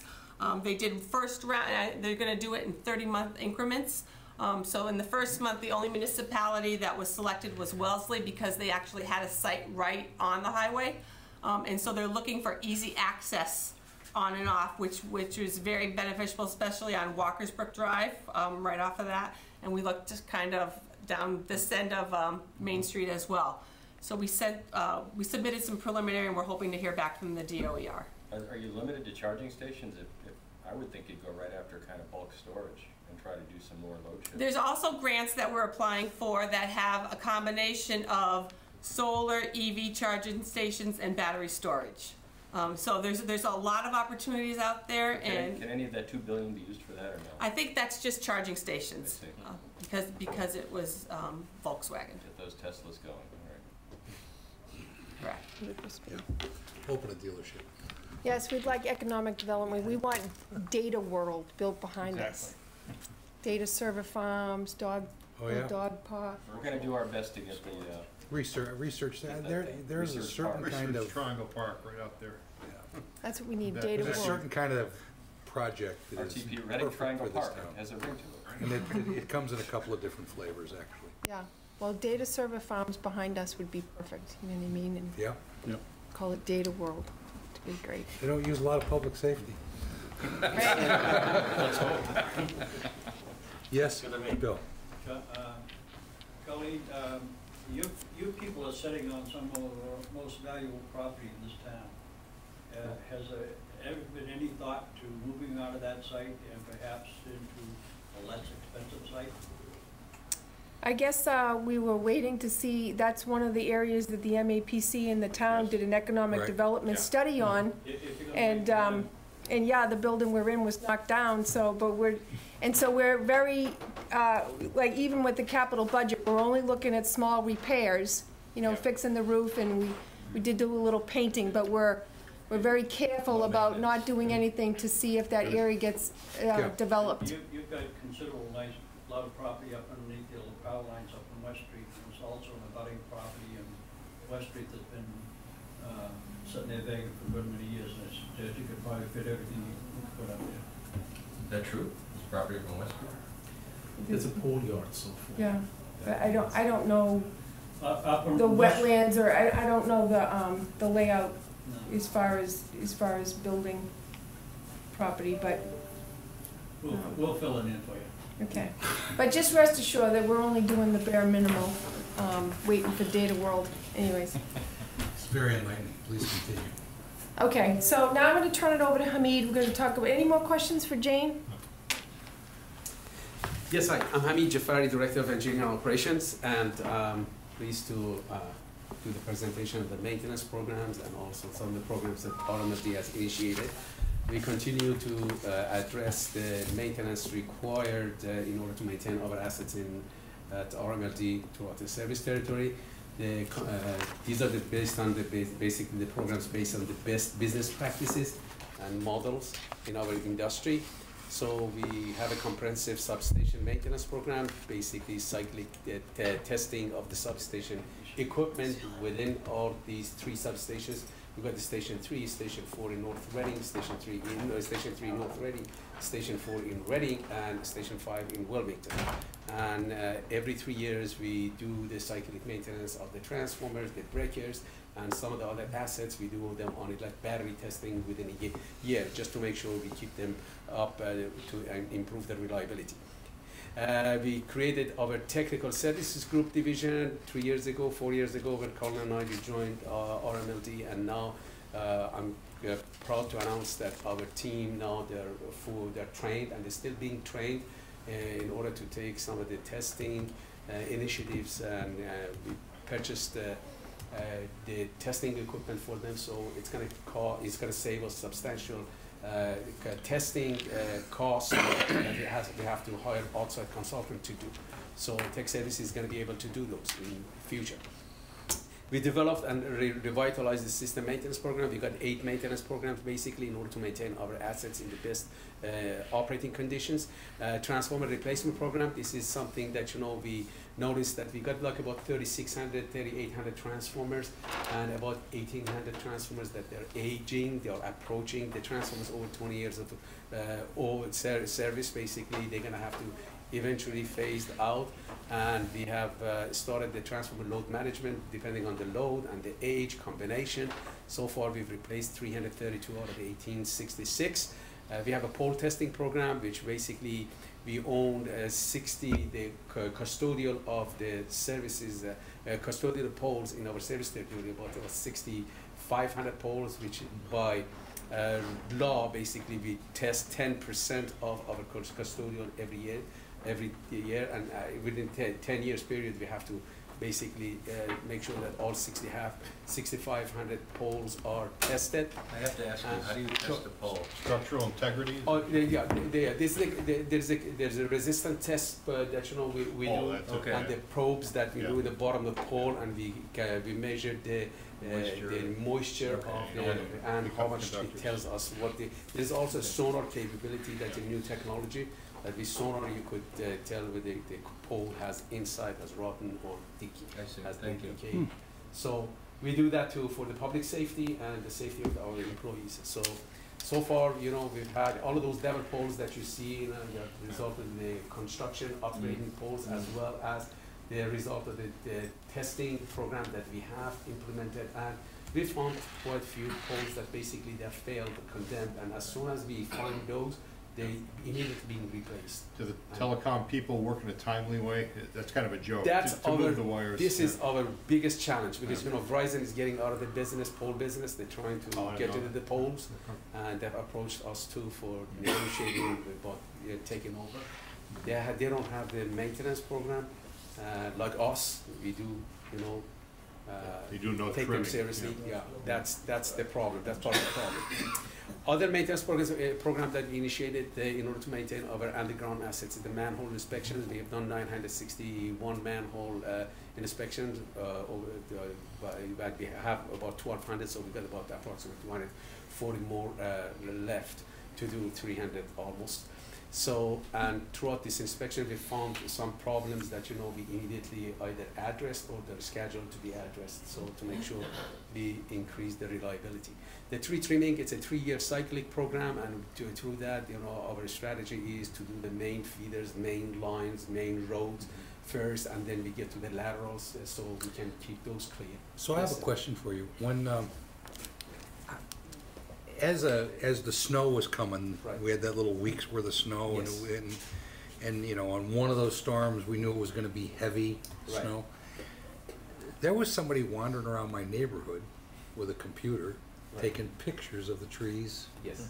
And now, is that you guys? We, yes, we got DRG, Davey. I Thought it was a great idea, but- Davey, it's a contractor of ours, they Yeah. collect information for GIS.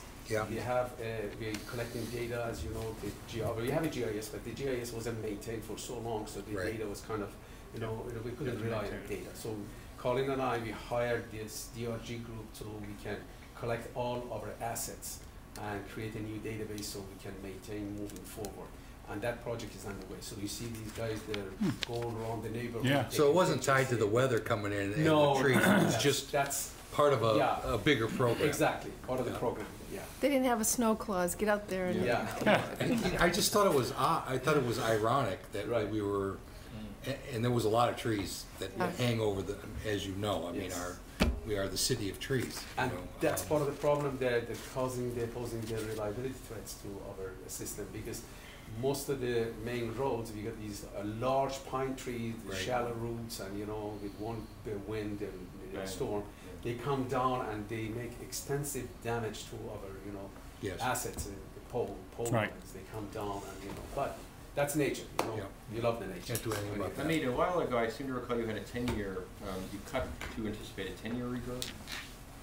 The, the amount of growth around the. Yeah, the growth, what, what we did, we, when, I- when I came on board, it used to be five feet and we Yes. increased that I'm to sorry, it was seven ten feet. It was- Yeah, yeah, there's some utilities, they do aggressive, but this is a tree city of America, we Yeah. have great Yeah, respect for that. yeah. So we go on seven foot, you Eight know. feet. So it's Eight not a feet, full eight feet, haircut. I'm sorry, yeah, so we know how sensitive the people are, we try to, you know, to. It's not a buzz cut, it's kind of still a little on this. Try to keep everybody happy. Ever, okay. Good luck. So, Thank you.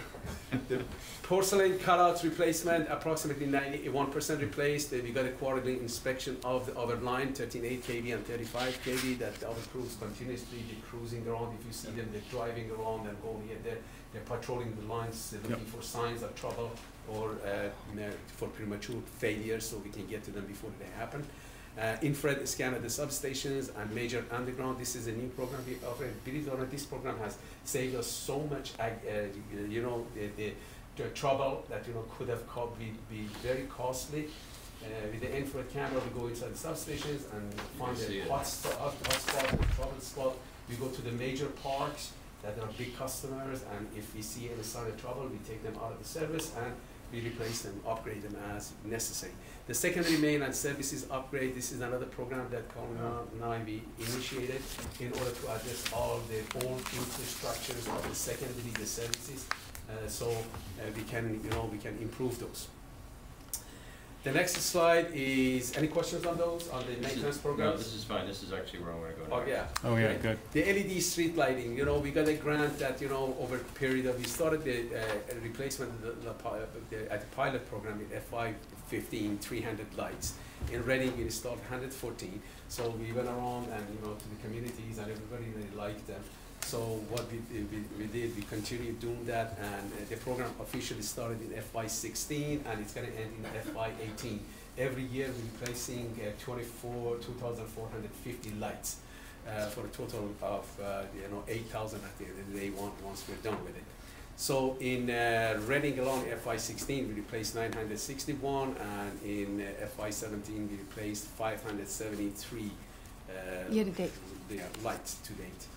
So, year to date, and, uh, What stops us from doing more of those or doing them more, more quickly, is just staff? no, we're gonna do that. No, well, the thing is, we got, we got a program that, you know, we do other reliability projects that we're gonna have Yeah. to do as well. So we are installing sixty-five lights a week uh, throughout all communities. And that's the entire fixture or just the? Yeah, we reprove, we replace the whole thing, the whole ball, ballast, everything is gonna have to be. Not, not the arm, Yeah, not the arm. Right. the head.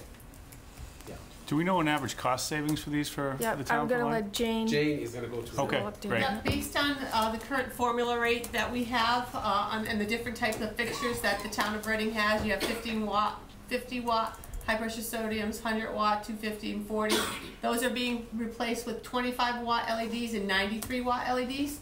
So the projected savings over the course of the entire upgrade for the town of Reading is um, around $51,300 Per year. Course of the, uh, Correct. Annually. annually. Wow. We budgeted, what, was it a hundred and a quarter, Bob? I think I remember from the, Look, There's a couple parts to it, one eighty, I think was the total, traffic lights and street lights. right, okay. and it, the, um, Pretty good dent. what these lights are producing, I know, I know we, we still have um, a lot of poles turned off, correct? Bob? I don't Um, think so. Poles No. Didn't we, didn't we used to have a program where we turned turned poles off. turned off for a while? A long, long time. Right, we had, Okay, uh, we've, oh, we've, we've since rein- reinstilled those? we, when we started the program, I met with the chief. We went around to the ones that were shut off and we, tur- he wanted them turned back on, so we- we Okay. turned them back on. Okay, I In wasn't North aware of that, Reading, okay. there was a significant amount that were turned off and, and now those are being turned back on. So those have all been resolved and, um, Okay, so that number's with all those lights on? yes. Okay. Yep. Bill, you had a question? Yeah, question? who owns the streetlights? I've been told one time that we own them, I've been told that the light department owns them. Does anybody know who actually owns them? Yeah, it's the asset of the RMLD, but you, you, you buy the energy. We, we pay for the energy. We just pay for the energy? Yeah. I was told one time when I was a commissioner that we, uh, the town owned them, so I don't know. I don't think so. I was told the town, town owns some. I'll tell you what, these LEDs, when we put them in here, you got, you can't turn them all on, you gotta wear your sunglasses. I mean, it's- Yeah, the difference in lighting is stunning. yeah. So that uh, savings, you said it was fifty? Fifty-one thousand three What is that, what is the before number? The fifty-one savings, I can't see it from here, what is the before number? Uh, I, I have it on the um, screen there There are ornamental lights that the town owns, One hundred and thirty-five thirty-five before, fifty off. There's different streetlights ornamental and stuff that, that we do not own. Yeah, but the typical Cobra Head, Yeah, but you're going from four hundred to ninety, so it should be three quarters savings, so I don't It's get it. 140,000, that's what. Is there a reason it's not bigger in proportion to the, I guess maybe you've already s- installed some, so those savings have already been realized, this is the No, this is the savings. capacity. This is the, the- this is the Okay, total, based on what we have in, in, in in the, in the, um, Thus far, thus far. I see, so that's gonna What about No. the, the capital, in, in, the- the capital that was missed? Right, so it, it's about a thirty percent savings because of the reduction in kilowatt hour sales. We've, we've gone to a formula rate for the, for the municipal streetlights where it's our average cost plus our power supply cost. Um, historically, what we had was the capital cost of those old streetlights Yep. weren't included in the old streetlight rate. I see. Um, and The so old when- rate was down here. Correct. Yeah, I see. Correct. So it wasn't as much of a savings, but it was good that we caught it. No, it's, anything Not is for good. you, I And guess, The new for rate us. does have the capital cost in it. Correct. Yes. Okay, Correct. Thank you, now it makes perfect sense. Yeah. Okay, um, go ahead, Henry. Okay, NJUNS, this is the new program basically that, you know, it's a, a software program that it's being used by all three parties, RMLD, Verizon, and uh, Comcast. Mhm. Basically, it tells you, you know, who, we, who's got what in the, the, the service territory and what they need to do, either they transfer or remove the poles. There's something I need to mention, the, it, often this question comes up that, you know, who owns the pole? The ownership of poles in all four uh, service territories uh, 50 50 percent Verizon, fifty percent RMLD. However, the custodial is at North Reading, it's hundred percent uh, RMLD, and Reading, half the Reading is ours. The rest of in communities, you know, it's with Verizon. So Verizon, they're covering more than, you know, RMLD. And then Uh, you pay them, they pay you, or is it just, a- how does that work? for the Yes. Yes, custodian? that's right. Okay. Yeah, that's how. it Does that, um, just, I, I don't mean to interject, but, so what happens with the pole is the custodian Mhm. sets the pole. So if we need a pole, or we're building a circuit in their custodial area, we call them, they set the pole. And then the, the NJUNS is ball and court, so electric transfers, you know, then cable TV, then fire, whatever, it goes Okay. down. So the NJUNS is, i- is telling you, you're next to ball and court to make the transfer. Yeah. When everyone's done transferring, the custodial come back and pulls the pull button. And so that's really what the custodian does. So yeah, there's a six oh five A billing that goes back and forth based on, Thank you. So based on the current status in the, in Reading, I you guess see the that? double poles, you see that uh, in the town of uh, Reading, we got, uh, this is basically the uh, RMLD, we got twenty-three transfers and we got twenty-seven pole butts that, you know, that we need to remove. That's the status. These, these numbers, you know, it's like, you know, they're going up and down, they continue to Sure, change yes, because we are making improvements throughout the community to increase the reliability and improve the operating conditions.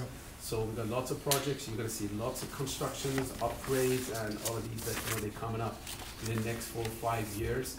And, you know, actually it's a ten-year program, but, you know, we've got in the next four, five years, you're gonna see lots of our crews, They're going around making improvements and upgrades.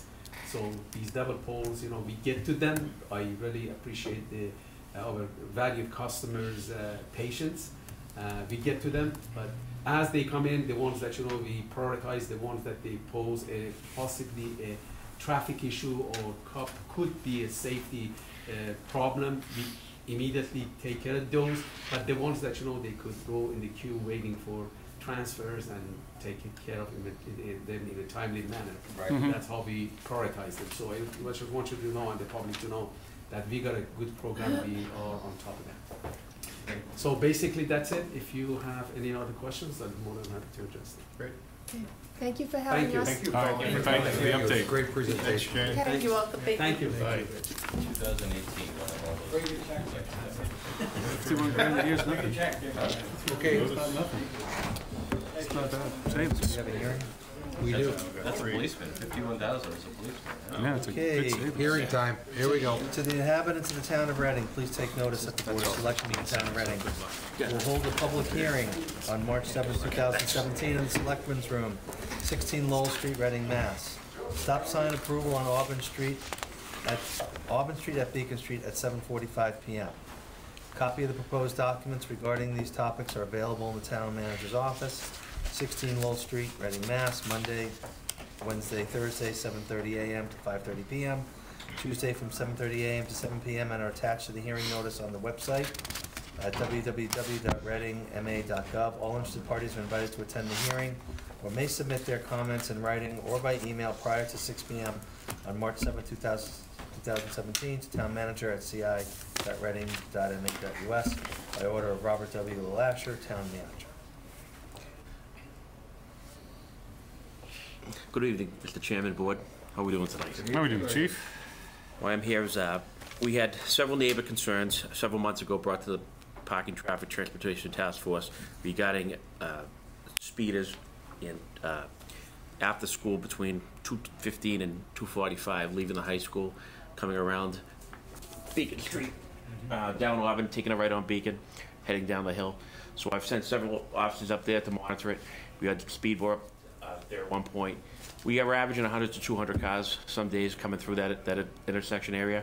Um, And uh, I think one of the neighbors is here tonight, well, it- and uh, Over what turn, timeframe is that, 100, 200? it's between, be- basically two to three o'clock in the afternoon. After We have- school? 200 After cars in school. an hour? Yeah, it's a Oh, times- a lot of Wel- times, welcome you to know. my world. Right, they're all coming That out. doesn't count, Dan, you live near the school. They're all coming out, it seems to, be- to go any sure that direction airport was town. They're having all- butt. They're trying to avoid, I think, the intersection down at uh, Birch Meadow Drive, and they all go, that seems to be the way they go out to Main Street, is that direction.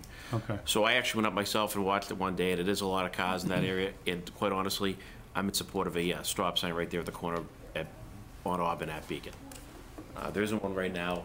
Now, where, where, would the sign go on Auburn eastbound or west? It go on Auburn eastbound, correct. Okay. Heading towards, And it'd just be the one sign? just one side. So what is it, like a bend right there where you don't have to stop right now? Yeah, Is it so- kind of like a Exactly. unwritten rule? It's, right, it's kind of a sharp bend, but it's kind of like an unwritten rule for years, it's been going on. It was, you know, and finally, I think it should be addressed at this point, you know. But you're only putting the stop sign on Auburn, nothing on Beacon. Nothing on Beacon. C- Beacon, we have the hill, which, so when they, yeah, yeah. it's pretty, when they're coming up, they, we don't see much concern with them taking a left onto Auburn like in the mornings. It's definitely much more in the afternoons leaving the area. I've almost, I, I don't know how they can manage it. So here's but what they you need come to, you up gotta with- tell us who you are. I'm Amy Ward.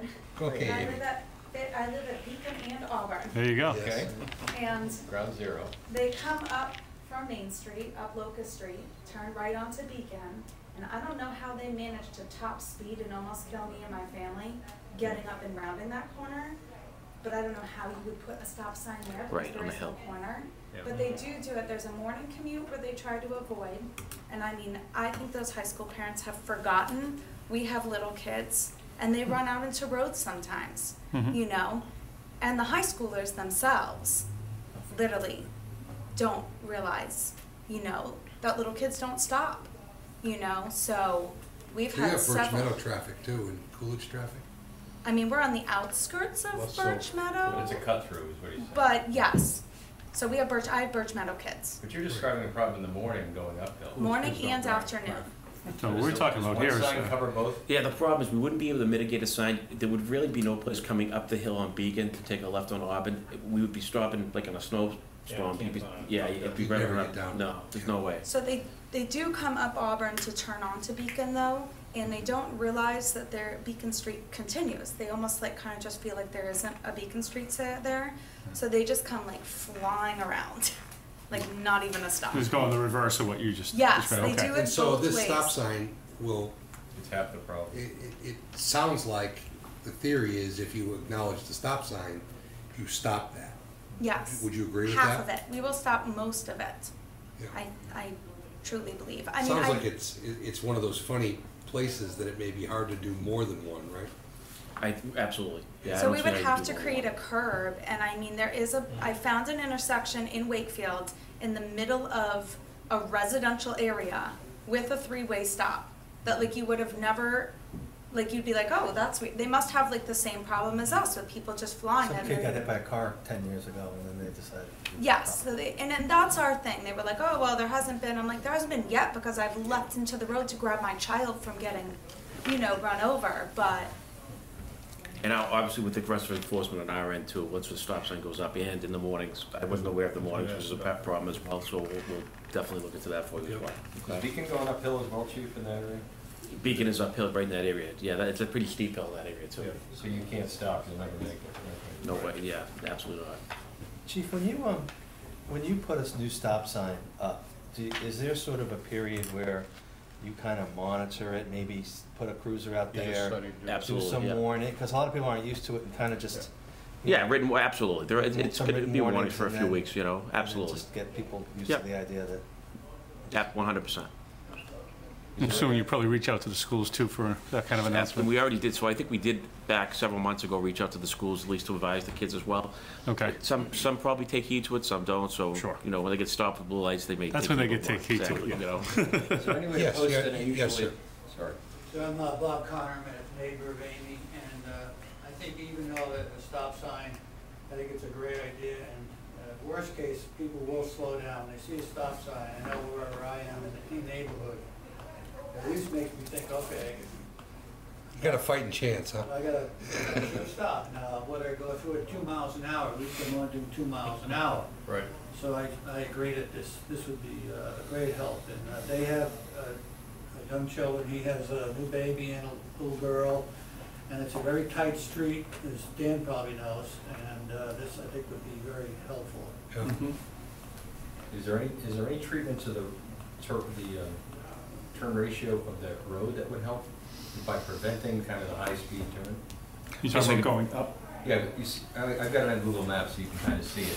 um, Speed bumps? No, not so much that, does it really help the, um, radius joking. turn? There's a really broad radius turn here, so they can kind of make that turn at relatively high speed. If you made that more square. I Yeah, I guess I could speak with engineering, see what they have, you know, Kind of see how, it's, it's kind of a radius turn, you can kind of do that at high speed. Right. In Dale Earnhardt. Yeah, it does look a little bit like it. Yeah, but it might, it, it force you to slow down just out of mm-hmm. safety. Yeah, you almost, you almost take it and feather it this way. Well, I'll leave it to engineering, it's just right now, they've already, it's got racetracks on it, you can see it. Right. Right. I think we're in agreement. Yeah. It sounds like you want it, the neighbors want it. Yeah. Where do we gotta go from here? No brainer, raise your hands. Sounds like that's what we gotta do. Should, motion. Raise our uh, hands. should just double check on uh, public comment? before Yeah, is there the any hearing? other public comment? Uh, Yes, please. Mike Lacy, I live at Beacon Street, and. What's your name? What's your name, please? Mike Mike Lacy. Lacy. Mike Lacy, okay. And we lived at nine Beacon Street for the past four years, and serving as the son. Yeah. High school kids come and go, there was one time, I actually contacted Dave, Officer Savio, where the straw that broke the camel's back, my wife was getting my daughter into, into the car, driving to daycare, and there was a black SUV that came probably two feet screeching around, so I'm like, you know, it's, it's one thing, we were all teenagers, I mean, I wouldn't be coming up here talking to you guys requesting this if I didn't have young kids, but we do, there are a lot of young kids in the neighborhood, and it is a problem. It's, that's a fact, but thank you very much for your time. Yeah, Thank thanks you, for coming. thanks for coming in. Uh, Move to close the hearing on the stop sign on Auburn Street at Beacon Street. Yes. Second. Gotta close the public hearing first. We're doing that. Yeah, we're Yeah, doing that now. Okay. Any further discussion? All in favor? Okay, hearing's closed. Here we go. Move that the Board of Selectmen approve the placement of an isolated stop sign on Auburn Street at Beacon Street. Uh, Can I add the words that Auburn Street eastbound, so there's no ambiguity there? Street eastbound. Take that as a friendly amendment. Yeah. Is there anything we need to do, Bob, to, for the engineering component of this, or is that, That's, you gotta address that in step two. all right, Need a second? second? All, tho- any discussion? All those in favor? Okay, we've got a five oh there. Um, You're all set? That's it? Thank you. Good to go? thank you, thank you. Thanks a Have a lot. good night. Thanks. Thanks for everybody's patience. I know we're running a little behind here. You just take two or three minutes break. Certainly. So we'll take a very brief recess and be back in a minute.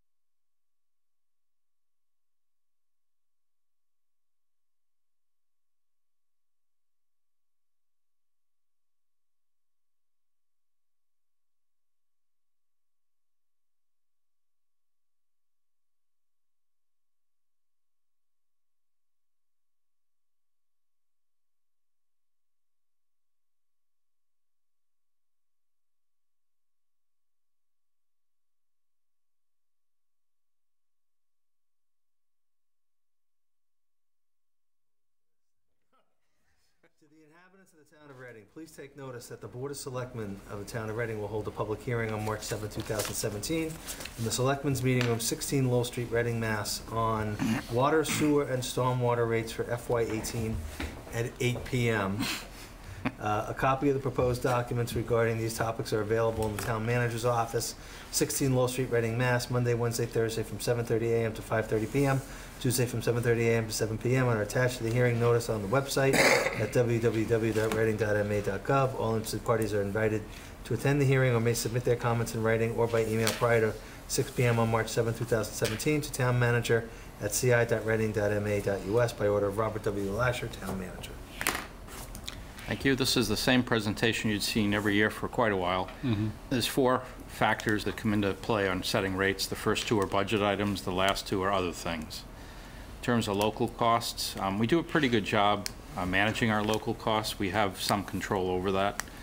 You can see over this five-year time period, our local costs are about 1.5% annually, combined water and sewer. Um, Mostly that comes through capital planning, which we have some flexibility to do. Uh, But there is, you know, capital you have to do, and we can't just skip it.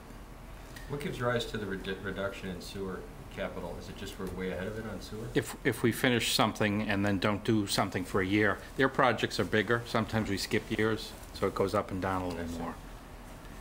Uh, MWRA's costs are a little bit higher, but not out of sight. Uh, 5% on water, 3% on sewer on the, over the same five-year period.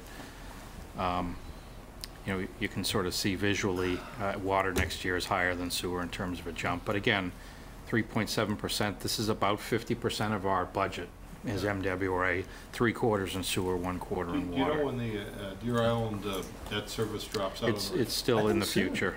I think it's like almost done, isn't it? Um, Is it 30 I year think it's in the twenties somewhere, two thousand twenties. I don't know when. They rescheduled some of it and pushed some forward. I don't know if it's Deer Island. And and how just much that will general. the sewer component roughly drop, you know? I don't, I don't know that. I, I don't know that. Um, their, their forecast beyond this year roughly for sewer is, is higher than water, their increases. So mm. that'll hurt us more. Other factors, um, conservation, I was interested in some of RMLD's discussion. I am suggesting a very slight tweak um, just to stay ahead of the conservation efforts, which is worth a little less than a percent on the rates. Um, here's, you know, she was saying their usage is about flat. That's incredible. Look at, that, look at that, water. That's wow. Just, it's down from 780,000 down to 635,000 at a time when the community is growing. Yeah. yeah. There are more mean, houses, there are some more businesses. So, you know, I can understand why power demand is flat, but this is pretty astonishing. That's a twenty percent decrease in ten years. We just had a pretty good drought this past summer, too. But it's probably not that surprising. All your home appliances are energy efficient. I mean, um, until The to- recently. The toilets have been huge. Light bulb's are light bulb, right? Yeah, let me, let me Yeah, show you something else, which I thought was pretty is the interesting. Component there, right? Water heater. Uh, Let's see if I can find the summary here. Here it is. Yeah, that doesn't get much Um, water, I don't think. Reading is one of the lowest communities in the state for unaccounted for water, 1.13%. Does that mean our pipes are? good? That's a Yeah, that means we're doing a really good yeah. job with infrastructure. Um, This is non-billable water that's just paid for and wasted.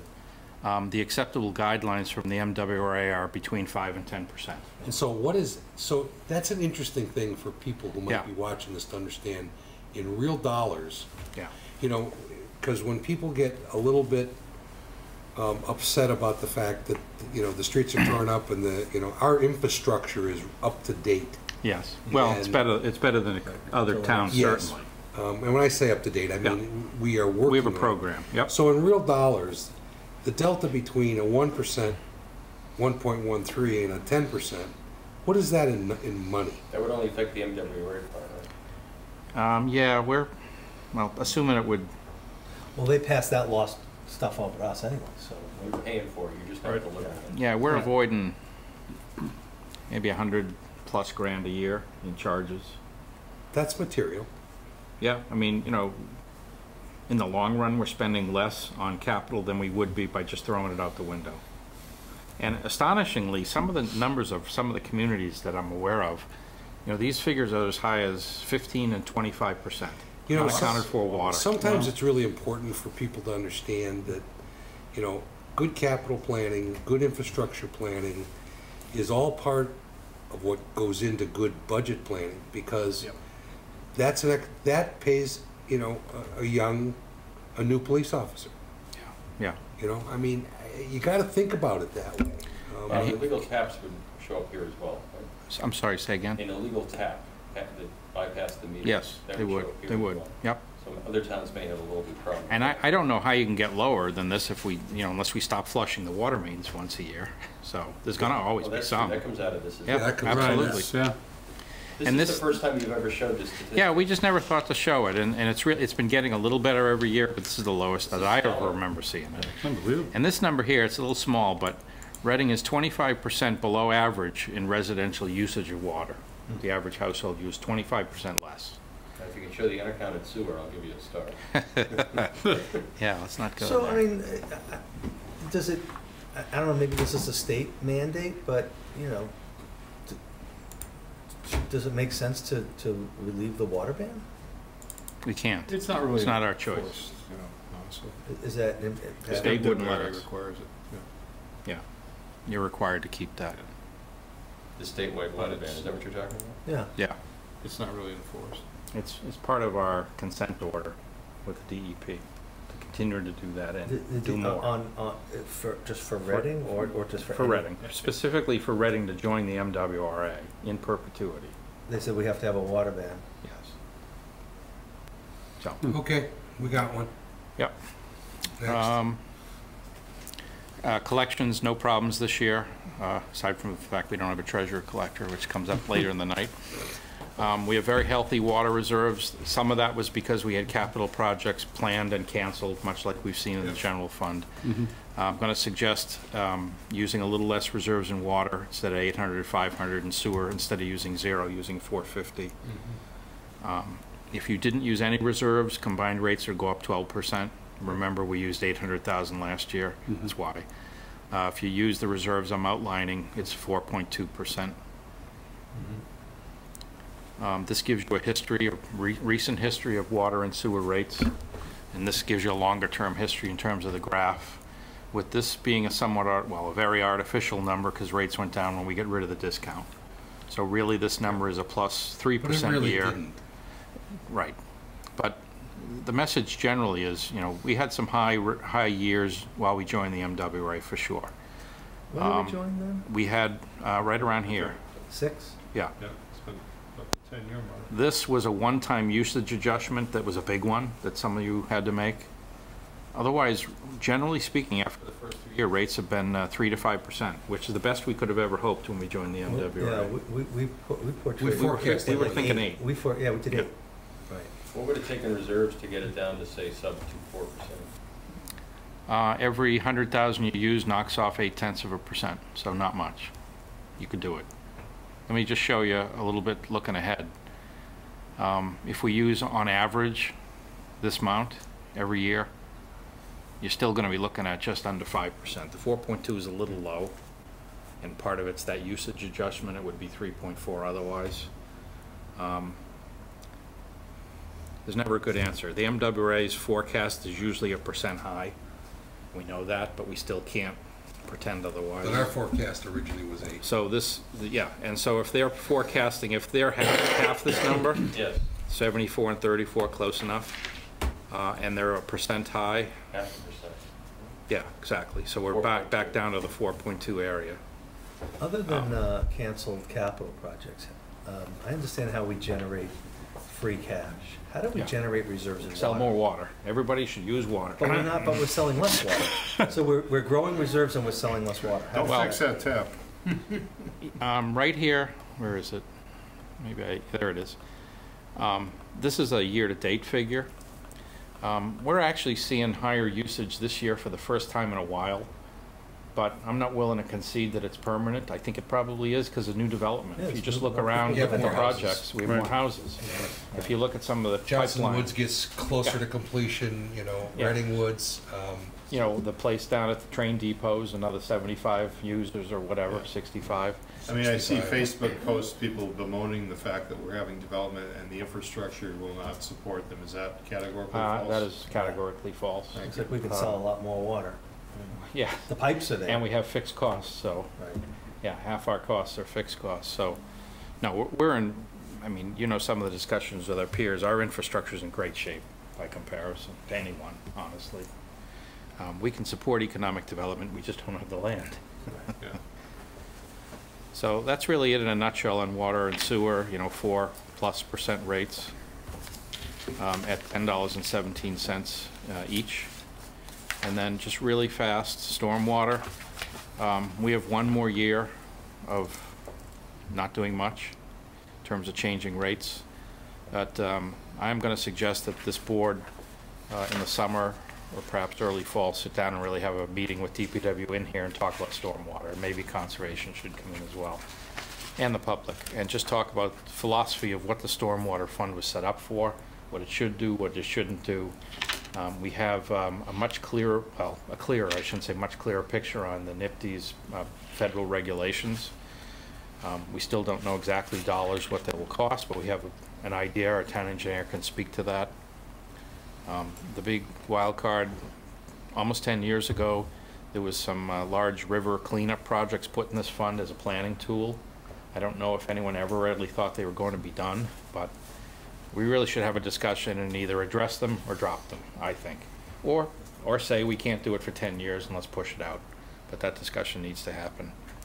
Um, But This is more of tying things together. yeah, ignoring the river projects, I don't think you can hold the fee at forty dollars if you are gonna do the drainage projects that is required. I mean, people are, you know, on- on occasion, single-family homes are being flooded, and I think the town has some responsibility to take care of their drainage.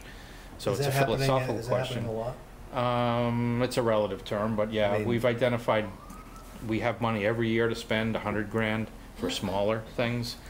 Uh, last year, this year, and forecast for next year, there's a couple of bigger projects that cost more than that, that are specifically put in. Um, and there will be one more set, you see here, three drainage projects, one and three quarters million. Um, you actually undertake that in this fund, you're gonna have to raise it to sixty from forty, for instance. But it's, it's a discussion that's probably worth having. In my opinion, it's our responsibility, whether you charge it through this fund or put it back in the general fund is, is a different discussion. Obviously, there's not a lot of room in the general fund, but nonetheless. Um, The three projects are not the rivers of No. anything. No. They're just local streets, I could give you, they're probably in the capital plan, I know they are, I just don't have them. Mhm. Um, You know, with real residents impacted, they, they need some help. That's definitely happened. I'd We be have people- inclined to do that. Yeah. We're seeing people in the last month that that's happened to. Yeah. Um, Yeah, I mean, you know, you look at a map and wherever there is one, Reading's wet. You know, there's a lot of, a lot of water in this town. And some of it causes drainage problems, so. So that's it, in a nutshell. So, um, if you're in agreement, you don't have to set rates tonight, but I don't really see any uncertainty. Um, I wouldn't use less reserves than I asked for, so that I wouldn't have an increase higher than four point two, because there's ample reserves. Hmm. If you want to knock more off, you can use more reserves, it's not a big problem. So hundred K gets you eight tenths. So Yeah, I'd 50 go fifty in each, would knock off four tenths in each. And then we I, I can bring 'em- actually do the math, I have a spreadsheet. Yeah, here so if that you would want bring to. them under three. We did a three nine. Yeah, that- I, you know, Let that me just seems to see. me, if we're not gonna endanger our reserves, Bob.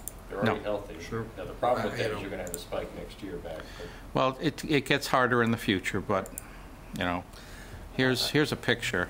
You can sort of do the math in your head. Can you make that bigger? Oh, yeah.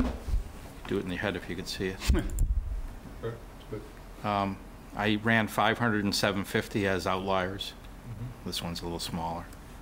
Um, Cost you 250,000 to knock it down to 1%. Yeah, that doesn't seem like it's a good idea. My guess is if I do, uh,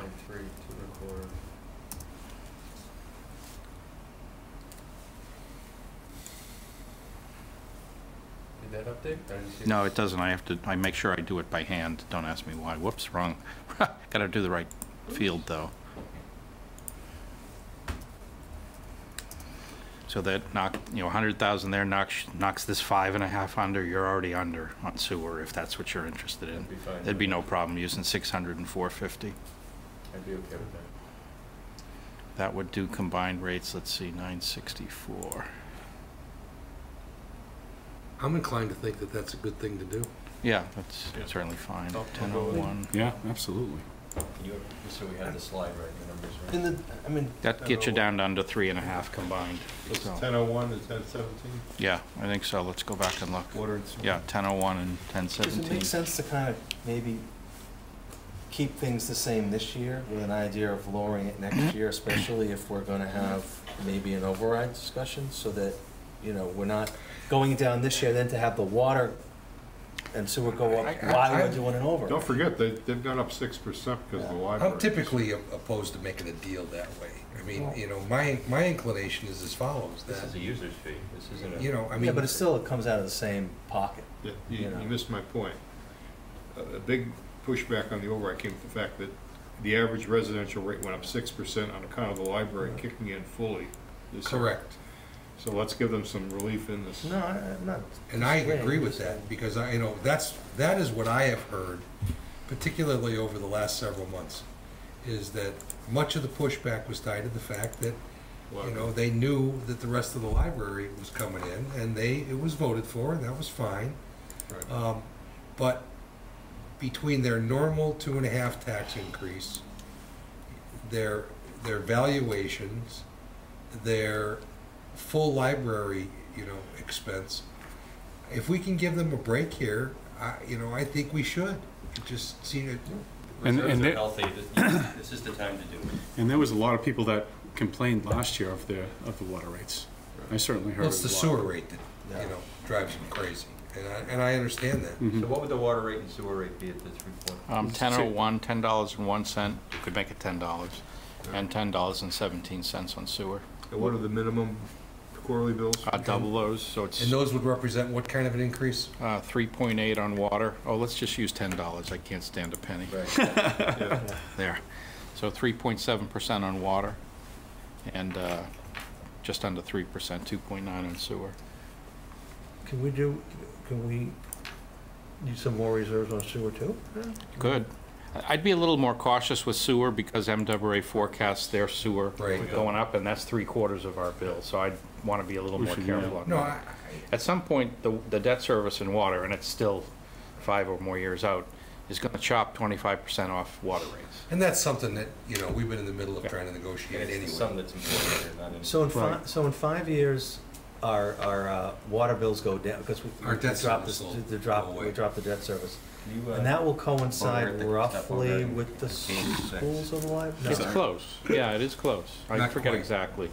I don't have it. We're with eight me. years out on the Yeah. school. that'll be- So, that'll be so, good. well, seven now, right? It's, it's within a couple of years. I just don't So remember. it's close, it's close, okay. And, and the MWA's got two points. One is the partial buy-in, one's the full, but close enough.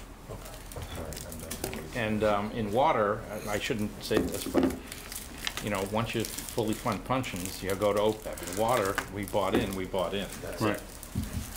You know, There's always uh, infrastructure, but, so I think, I think you're fine, absolutely fine, uh, knocking water down a little bit more. I'd be a little more cautious on sewer. I'm sorry. Well, I think by doing this, we, we show them a, a responsible, reduced increase, if that even makes sense. Yeah, and, and you are seeing economic development at the margins at the very least, so Yeah. Right. we should be selling more water, Right. without a doubt, in the next couple of years. Or at least it's gonna keep it Those level. projects. At least it'll stop yeah, going down. Yeah, for a Those while. projects right. are coming to fruition, they're Yeah. not all done. That sounds, that sounds like a caption right there. What's the Selecting minimum? lower water rate, just saying. I have a suggestion to sell more water. I have a- I have a suggestion to sell more water in a moment, but first, wh- what is the minimum quarterly bill for these two? It's double, so twenty dollars and, uh, I'm sorry, uh, yeah, twenty dollars and twenty dollars and thirty-four cents. Twenty-eight. What was the second one? Twenty thirty? Twenty thirty-four, twenty dollars thirty-four Yeah. cents. Oh, so that's just sort of by, by, uh, And forty on the Design. stormwater? Yes, sorry, forty dollars on the stormwater. Okay. So ten dollars, Well, ten Not seventeen. anything else? Either. uh, wanna close the There's no hearing? public here. You wanna- we have to Al? Anything to say? Comment? Got anything for us, Al? What's the uh, final percentage? Uh, three point three percent combined. Uh, so move that the Board of Selectmen close the hearing on setting the water and sewer storm water Second. rates for FY eighteen. Quick discussion. All in favor? Okay, move that the, my glasses here. Move to set the FY 2018 water rate at $10 per 100 cubic feet with a minimum quarterly quarterly bill of $20 effective with the December 2017 billing. Do I want to do these all at Yeah, one you time? could. Okay. Sure. Move to set the FY 2018 sewer rate at $10.17 per 100 cubic feet with a minimum quarterly bill of $20.34 effective with the December 2017 billing. And move to set the stormwater rate at $40 per unit, um, 3,210 square feet per year to be billed quarterly effectively with the December 2017 billing. Second. Discussion? All those in favor? Five zero? Mr. Chairman, Yes. um, this being the subject of water, I wanted to bring up an idea for more consumption. Um, A few of my folks in my precinct have raised the issue of um, double meters for use in sprinkling their lawns, or deduct meter. And uh, in the past, this board, when I first joined the board, the then chair took a dim view on this, largely because it would use more water. And it seems to me that we're perversely arguing the opposite here. We actually want to sell more water. But the thought of a deduct meter would let folks that want to water their lawn pay the component of cost for the water side. With no sewer. And not be burdened with value of a sewer uh, assessment, for which obviously there is none. So it's not only consuming more water, it's more representative of what's going on. I don't know the specifics, Bob, and how it would work with DPW. We can work out the mechanics and the costing and the rating and all that later. But I wanted to see if this board would entertain what it would take to reinstantiate the use of deduct meters for those taxpayers, homeowners that are interested in doing it. It's something I do here on a regular basis. I look in it, but remember that there's gonna be an offsetting increase in sewer rates to Mhm. make up for the loss Right. Water volume that you're no longer billing on the sewer side. True, but you'll have an increased use on the water side. I understand You may. sewer is the bigger part of it, so you're still probably. I'm, net I'm willing to positive. see some modeling done on that, uh, Bob. Um, Yeah, Dan's right, we can certainly bring in some staff and some data, some surveys. We we surveyed peer communities maybe five years ago, you know, we could do it again. Um, There's other topics that can be discussed. I don't know if they, s- it sells more water, but there are some communities that tier rates. Um, they- There's communities with three tiers is the most Increasing or common. decreasing as you use So it- as you use more, it costs more. Oh. Again, it not forces less. conservation, which again is kind of odd. We're not trying to do that. Well, it also penalizes users of the biggest amount of water, which are usually commercial in some of Yeah, these yeah, communities. right. Winchester's the best example with the hospital. Yeah. Yeah, they've So- gotta be using, you know. I'm not inclined to want to. But there's lots of options you could Right. throw on the table if you wanted to have a discussion. How would that, how would that uh, fly with the state ban on, uh, on water, you know, How would what fly? having, you know, dual metering, where basically. I The don't think ban they is do. only restricting hours of, of operation. It doesn't say you cannot have a You fixed. still can't use it during that hour. Right. But if Right. you do, you're paying only for the water component. Yeah, I, I, it's an open question as to whether you would or wouldn't sell more water. I don't know. At I- the I margin, see you how may. would sell less. Right. I would agree with that. So it can't hurt, and it's more representative for the homeowner. Yeah, we, we'll have, schedule a night with DPW and have them tell you from their perspective whatever the pluses or minuses would It's be. also I don't think a it's a big capital number. cost too, right? Uh, So- It'd be a capital Yeah, cost of there'll be doing the meters and, Right. or, or, or, or Customer retro, pays- you know, retrofitting the. Customer pays for that. There'd be a fee. It's, it's cost neutral to the. Uh, Would the billing system have to change because they're, they're gonna shoot the meters from the street? I would think so. Yeah.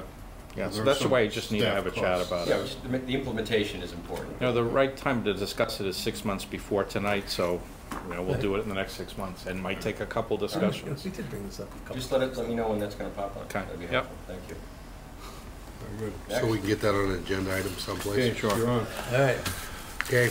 To the inhabitants of the town of Reading, please take notice that the Board of Selectmen, Town of Reading will hold a public hearing on March seventh, two thousand seventeen, in the Selectmen's Meeting Room, sixteen Lowell Street, Reading, Mass, on amending the FY seventeen non-union classification plan at eight thirty PM. Copy of the proposed documents regarding these topics are available in the Town Manager's Office, sixteen Lowell Street, Reading, Mass.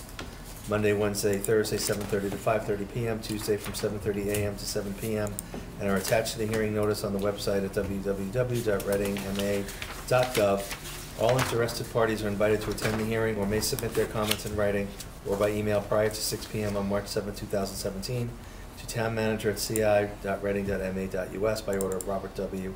the Lasher Town Manager. Okay, thank you. I just want to read from a memo I put in your packet last week, just so I don't forget. Um, As, as many or all of you know, our treasurer collector uh, resigned after a long career here to go to another community. Um, Her last day was last Thursday. Um, Anytime there's change, especially in a long-held position, it's time to look at it. We only had a couple weeks to think about it, but, you know, we did, Sharon and I did spend a lot of time thinking about it. And um, we listed below four things that we thought were important in a transition. Uh, The first was to create an assistant department head position, which this position that Nancy's leaving was, that has more opportunity to be involved and basically help Sharon as department head. Nancy was very busy, did not have the time. And that's two-pronged, that's finance, but it's also management, it's HR. Uh, Both those things are important uh, in managing any department. Um, Our finance department, like other departments, are not exactly deep. So one way we combat that is have a lot of cross-trained people.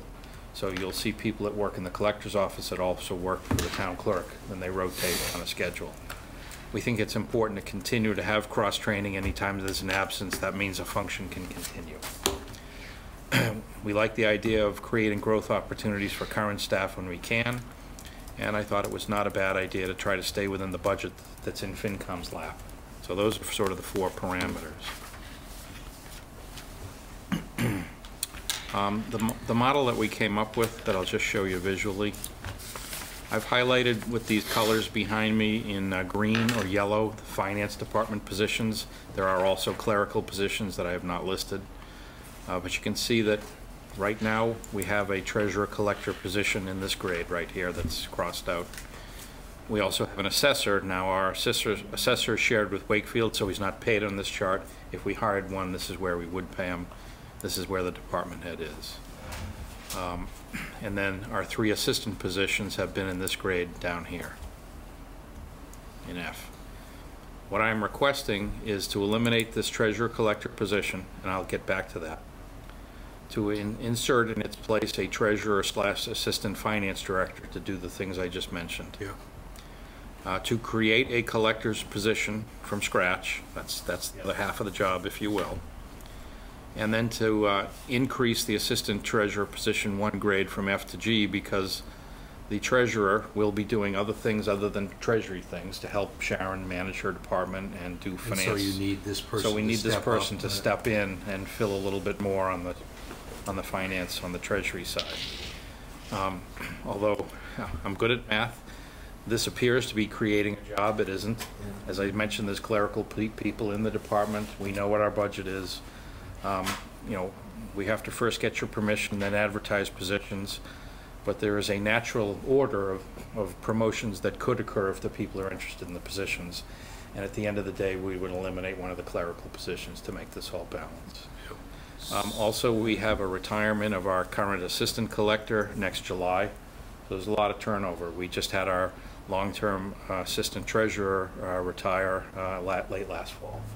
So the three top positions below Sharon in the department have all changed or will change in a short period of time. Um, As, as you saw earlier tonight, one of the mo- more important things we do in Treasury is keep the light department working. You know, they buy power frequently. We have to use the Fed wire to do that. There's not a lot of margin of error there when you're buying power. So our, our role of our treasurer is different than many communities that don't have light departments. She's got a lot more responsibility. Uh, In point of fact, our current or former treasurer collector was spending decreasing amounts on the collection side every year, to the point of very little when she left. Our assistant collector's basically been running that side. So I think operationally, this will give Sharon a bit of a hand. I don't But we really- know that that's and we- necessary. And that's really important. I don't really see any downside to it. Um, We're spreading out and giving opportunity generally to people if they want to apply for it, you know, they'll have to earn it. Um, Well, you're not taking anything away from anybody by rearranging No, we're, we're this. really not. Um, You're actually creating We're creating opportunities for people. Generally, people are, you know, appreciative of that. Um, We are putting up a few more barriers. When you think of finance, you have assessor, you have accounting, and then you have other. And the other in this case, case is treasury and collections. while they're all financial functions and belong in the same department, um, you know, you'll know the term from uh, Wall Street and others. It's important to keep Chinese walls between all of those areas. It's very important that the assessor be independent of the treasurer and the collector and the town accountant. It's very important for the town accountant to be very, very independent of any of the rest. All those things need to stay apart. The one thing where we've sort of allowed, if you will, a bit of a close relationship is by having a treasurer collector. There's a little bit of a, a gap in there that we haven't had, and it's okay. It's a little better when you have some separation. And our charter calls, allows us. And, to- and I, that's, that, thanks Barry. That's the last thing I wanted to mention is just, just by happenstance, a couple of years ago in the Charter Review Commission or Committee, um, I did ask them to separate it, just in case we ever thought this would be a good idea. I really had no concept at the time we'd actually need it. Uh, But the charter uh, does now address each and allows me to request of you to combine them, which I did as soon as the charter um, was passed. Now, I would need to ask you to uncombine these positions uh, effectively and go back to the way the charter is written as a default, where there's a treasurer and there's a collector. And in terms of sort of other peer communities, there's, there's both models. Um, Reading will be a little bit unusual for our size in having a treasurer, a collector, an assistant treasurer, and an assistant collector. Um, But I think, again, with the light department, that's easily justified. And other people use other titles. Some, some towns have a treasurer, a collector, and then one person that's assistant for both. I think it's vital that each of those roles has a real backup. We kicked around a lot of models, and if the treasurer's not in, you can't tell the light department, I'm sorry, you can't buy power this week. You know, you just can't. Um, The treasurer is also a key role in payroll.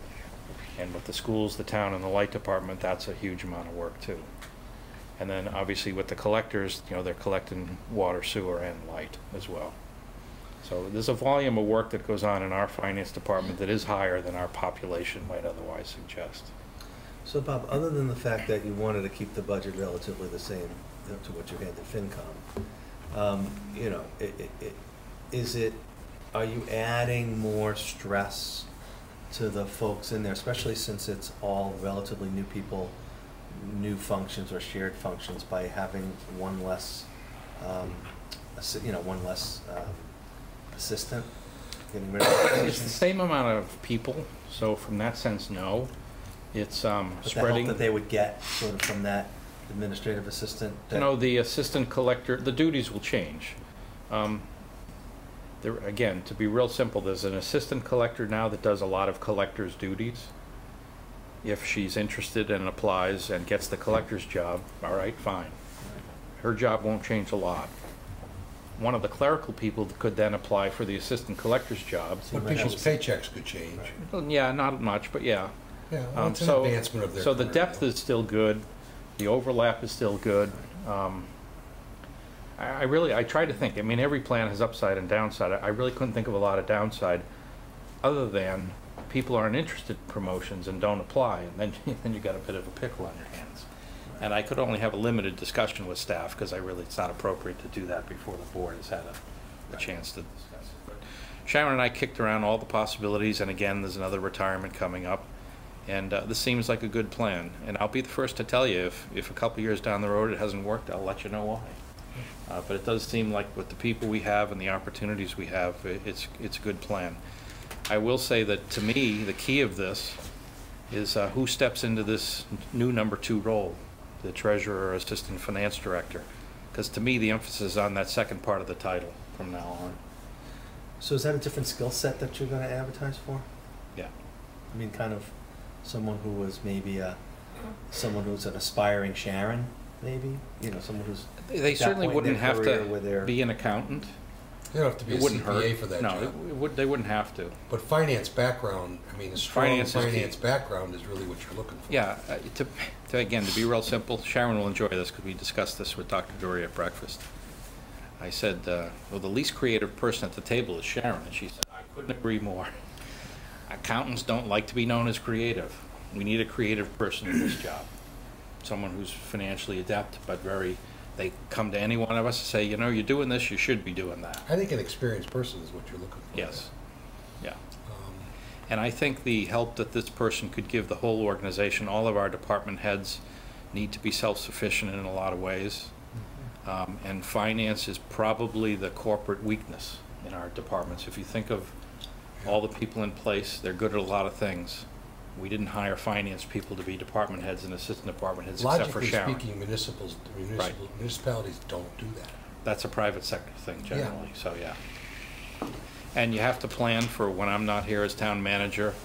The next town manager has to be financially savvy, probably will be not at my level, frankly. Um, I do a lot of stuff the finance department could do and should do, and will do some, at some point. So that's why you need a good person there.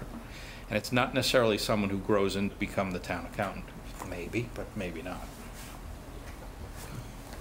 So, and it does, it stays within the, within the You want a budget. In the town accountant, don't you think? Oh, yeah, oh, yeah. And this person in this job is not necessarily a CPA.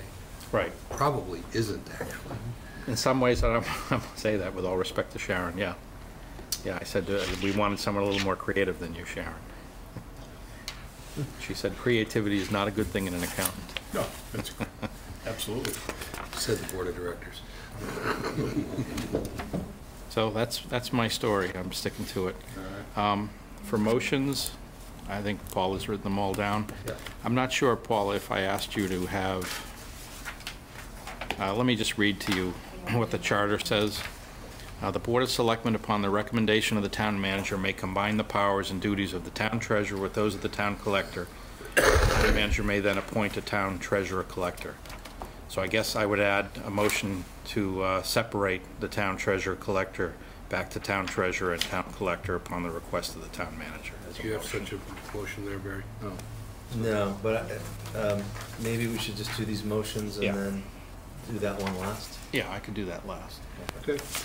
Uh, Well, first move to close the hearing amending the FY seventeen non-union classification plan. Second. Uh, Any discussion? All in favor?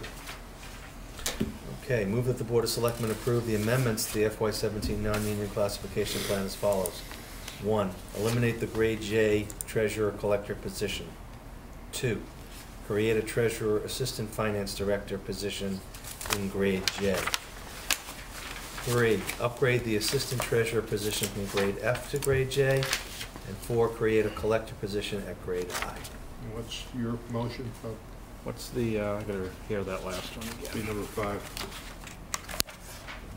Assistant treasurer should go to F to G, not J. Oh, I missed that. That's uh, number three. Yeah. G. Did I read it wrong, or is it? No, you read it right. No, you read it right. I didn't proofread it well. Are the others okay? Yeah. And what's your one? for- Uh, hang on, collector. Let me just check something. I- That's, that sounds right, collector Decouple and I. the, uh, Yeah, I think I gave the wrong picture, but let me just look.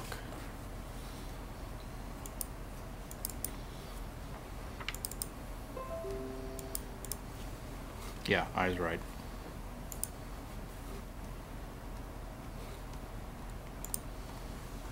Those are right. So G is the only correction. Are we, you gonna add to this, Bob, or are you gonna make the motion? Um, the other motion, yeah, why don't you do these separate? Yeah, just- okay. Second. You're good. Discussion, Joe? Yeah. Any discussion? All those in favor?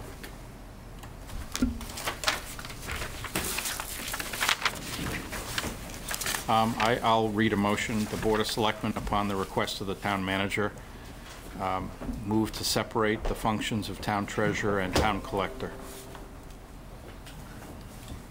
Um, So, do we have a motion to that effect?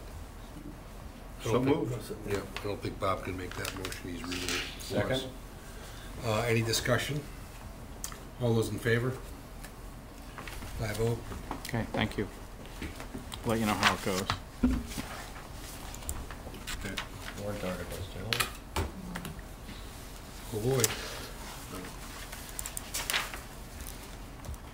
Out of the warrant.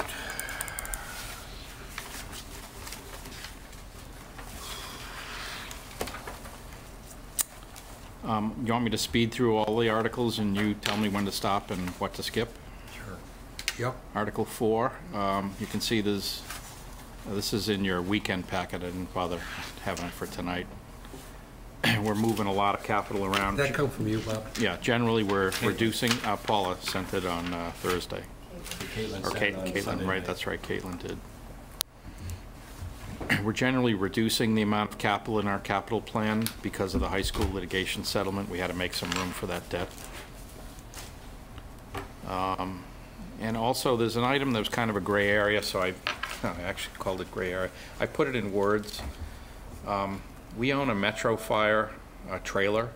It's a trailer that kids learn fire safety Yep. by crawling through it. Um, We didn't pay for it, but it- we actually legally own it and insure it, and so it's ours. So Metro Fire wants to replace the old one and give us a new one, and they get money with a grant. Again, we have no financial role in that. But it seemed important to mention to town meeting, since it's not really in the capital plan, that someone is acquiring a capital asset in our name on our behalf. So I just mentioned it in words. Sharon had, had not really come across this and didn't know how to address it, but it, it didn't seem right to put it in our capital plan with a number on it, because it's not our money. But isn't it an asset? It is an asset, but we can't sell it. But it's value, got a value. It's got a value, we have to insure it. Uh, Metro Fire gives us a nominal amount each year to maintain it, to, you know, do repairs and maintenance on it. If it's a big repair, they, they do it.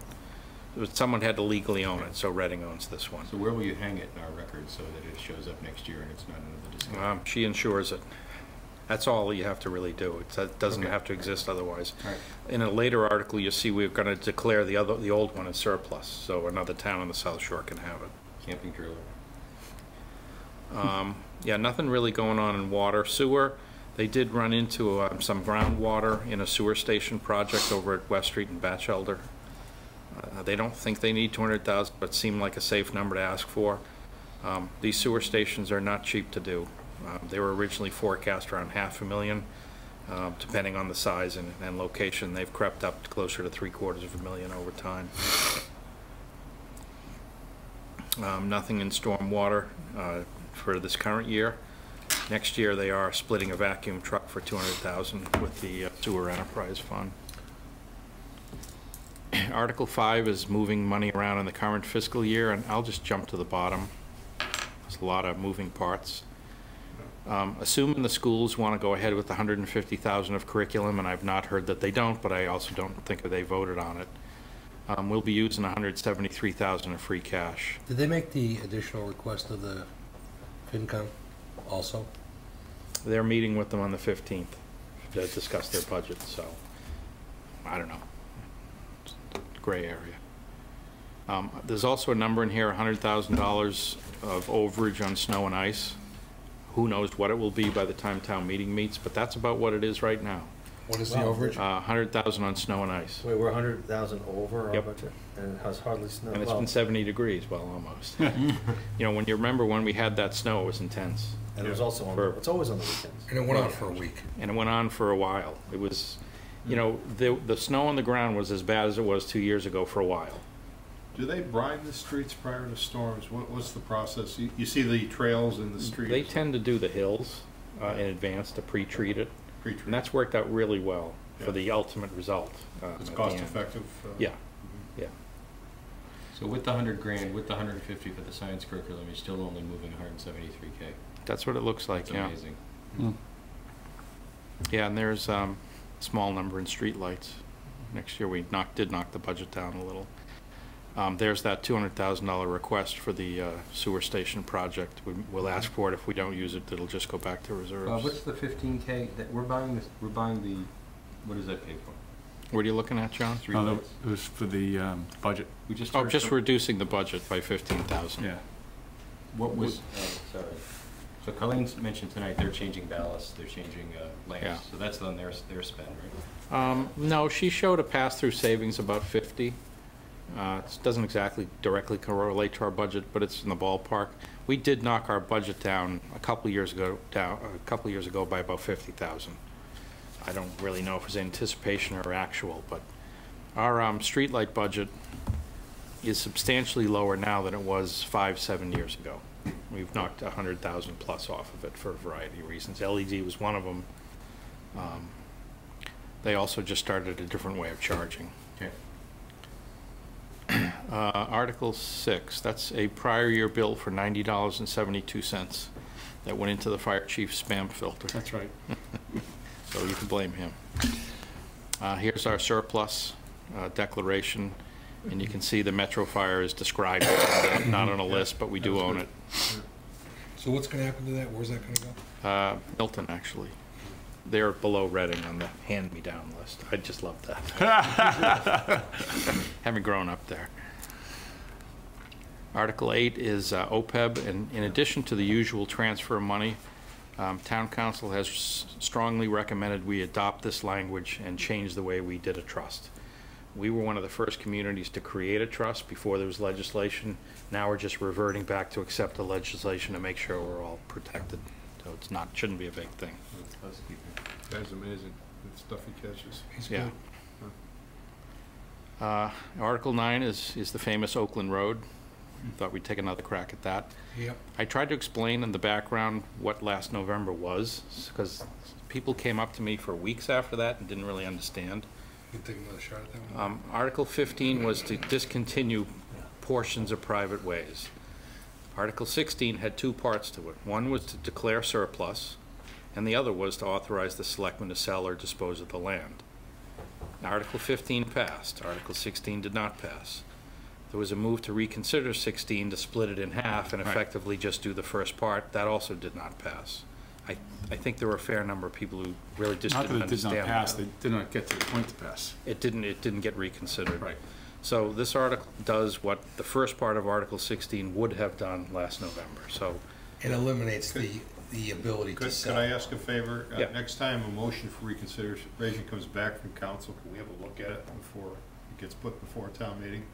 Because I think part of the confusion was the wording, the specific wording he used, which is very different Yeah. from the way we do motions. So I think it Well- engendered some of the confusion. It was clumsy. My right? recollection, correct me if I'm wrong, but was also there wasn't really much of an explanation allowed. Sure, it's debatable. I didn't think there was much of one allowed or there- given. you know what? I I don't think there was much of one allowed. totally Because I was debatable. ready to go up and big stand there as was Ray and. We and- tried to explain it, but. Yeah, we just weren't allowed. Al- Alan was a tad on the strict side there. I- Yeah, I and thought that's he went okay. over the top. Uh, But, but I, I just know said. from the feedback afterwards, a number, and I mean by that more than ten town meeting Yeah. members, really did not understand So what the reconsideration issue was. We'll make a tight presentation this Yeah. Time. Bob, there's a style issue here, which is you could describe uh, Article 16, sorry, we, Article 9? Current Article nine. Nine. We could describe this in the way it looks today, or we could describe it in the way it looked last year, or the way you've done here. I wonder if we're better served, starting with a clean sheet of paper and keeping this in the back pocket when somebody says, hey, what does this reflect last year? But don't go there to start, because you're kind of digging up last year over again, and it gives your eyes to, you guys are looking for a third bite of the I'm apple. sure I agree with that. You do it any way you want, but I'd rather describe what it is, not what it isn't. It's a custodial warrant. If you, It's the- if you. It's to put the thing in the care and I, I agree with Yeah. you, but there was kickback the last time. I'm trying to avoid the, If you, wrong again. if you, I think if you do that, you're think you need to guaranteed that explain people are gonna ask, wait a minute, what did we do last If we don't explain it, people think then we're trying to go. I think it's better to lead by. with it and get it out of the way, yeah. I'll I- stand down. I think that it needs to be clear that the town meeting did not want the, I think the town meeting did not want the selectmen to be able to have the authority to sell Right. without That coming was back to correct. them, and I understand that. Yeah. And I, you know. And I would say crystal, crystal clear. Well, I, I know you said it, Chris, in a clear way, Barry, unquestionably you did, Yes. but it wasn't heard. I mean, Yeah. it just wasn't heard, and I'm not sure why, but, um, And to be fair, in other years, we've been given that, although it's insufficient, we've been told to Yeah. do even more. Get rid of it. Yep. you know, um, The Oakland wasn't Raiders a- will leave uh, Oakland before Oakland leaves Reading. Or I'll leave Oakland Road with a toe tag, right? Um, Article ten is to spend more money in the library, and, um, I'll just read this sentence. If this article is needed, the town manager or his successor will have a lot of explaining I- to I do. would So recommend that I we would, support that. I would expl- I expect this to be tabled, but I think it was important that you put it in the warrant. Uh, do we- I mean, just real. There is no plan to use this. I, Shouldn't be supported. I did get a call from Bob Lebrecht today that needed to speak with me, but I don't think it's because we don't have enough money. Okay. Uh, last I knew, we had spent maybe at most half of this hundred forty-one thousand, so. It's probably good to still give in a good shape. update on that anyways, just to. At some point, yeah. And and this could be an article where we just do that. Yeah. Just give a summary. Just so that people don't like think, oh, the other shoe's gonna drop at some point. Yeah, God knows, let's hope not. I'm not Will aware it of be that done? Will shoe. the punch list be done by then? They're down to about a hundred, which sounds like a lot of things, but they It's were at actually like not. three or four thousand, um, when the library opened. So Amy's really happy. As some of you saw, that local Yeah, history room was history really room was nice. done. Yeah, Yeah. and the, um, I mean, people are thrilled about being able to get to the microfiche and. Oh, good. Um, so that's all, you know. Okay, I didn't Given know that that we're was talking about fixed. the library, can I mention something slightly off topic? I'm still getting calls from the neighbors about the lights being on on holidays. Are Yeah, they there's a supposed to meeting be? with the trustees, I Oh, think good. next Monday. Are they taking To that talk- over? Yeah. Well, it's their building. Good. Let's see, it. Article eleven is uh, two point four million for a sewer station work on uh, Charles Street. That's in the capital plan. Um, Article twelve is the same one the retirement board put forth uh, last November and then tabled. Sharon described it to the finance committee last week. Um, It's a relatively small change. I'm not gonna try to explain it to you, but it's, it's a change from three hundred and sixty dollars a year to four hundred and twenty dollars a year of a COLA increase for all retirees above twelve thousand or fourteen thousand. But actuarially, it, it adds one point five million to our pension liability, because it's now and forever in the future. So, the reason they tabled it in November is because, you know, there's a bunch of CPAs sitting around and they said, how can this be? How can it be one point five million? And then they did all say that. They looked at the math and they suddenly realized it really is. It's really one point five million. So, you know, whether this And is the, who are the, who are those CPAs in question? uh, the retirement board Okay, broadly. Um, you just appointed a new member, so. yep. Um, You know, it, it's the prior retirement board, but, and, and actually, there's gonna be three new members as of, uh, town meeting versus last November, which is interesting. Um, You know, and, and they'll have to produce, you know, present on its merits, uh, whether it's a good or bad idea. Sharon did that again to FinCom last week, and, um, FinCom did not sound very supportive, I'll say, not to prejudge them. Uh, you know, adding a million five to a liability at this time is not great. And I will say that if you looked at the distribution of retiree pay, if you could direct money towards the lower end, I think most people would support it. Um, You know, there are, there are a big portion of our retirees making uh, less than fifteen thousand dollars a year. And no one would begrudge them hundred dollars or two hundred dollars, I think. But if you're pulling down a fifty or seventy-five thousand dollar pension, and we can't distinguish by law, we have to say everyone. Yeah, everybody's the same. So, we'll see how that goes. Um, we're asking to abolish the sick leave and vacation buyback stabilization fund, which has like thirty dollars in it. Yep. Under Article thirteen. You've been preparing them for that for a while. Yeah, I thought we spent all the money, then it suddenly got interest. Um, Article fourteen is the annual, um, Affordable Housing Trust Fund.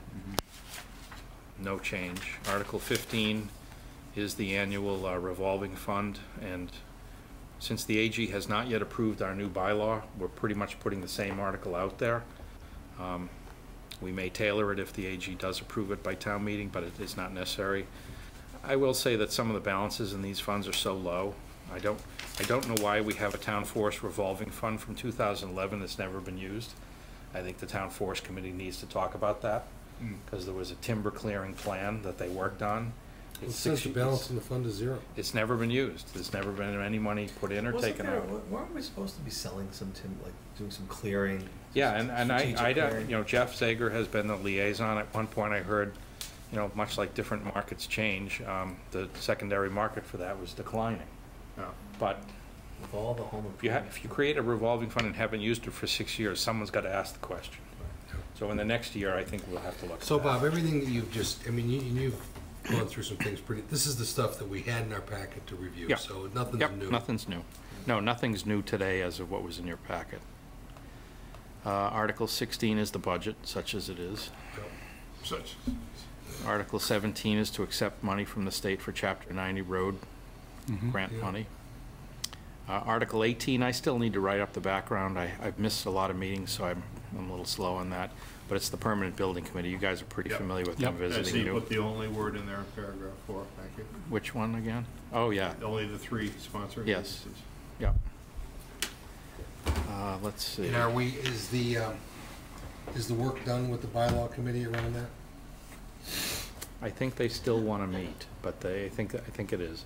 They want to still meet with town counsel to describe all the, well, some of the bylaws and Will that the be- zoning Will they bylaws. be, have that work out of the way by town meeting? I don't know if it'll be out of the way in time to go to print, but it will be done by town meeting. Ray's been away and he'll be back Friday. I Friday. think we I'll just need to set it stay up. close to that, because I know that they had a lot to do.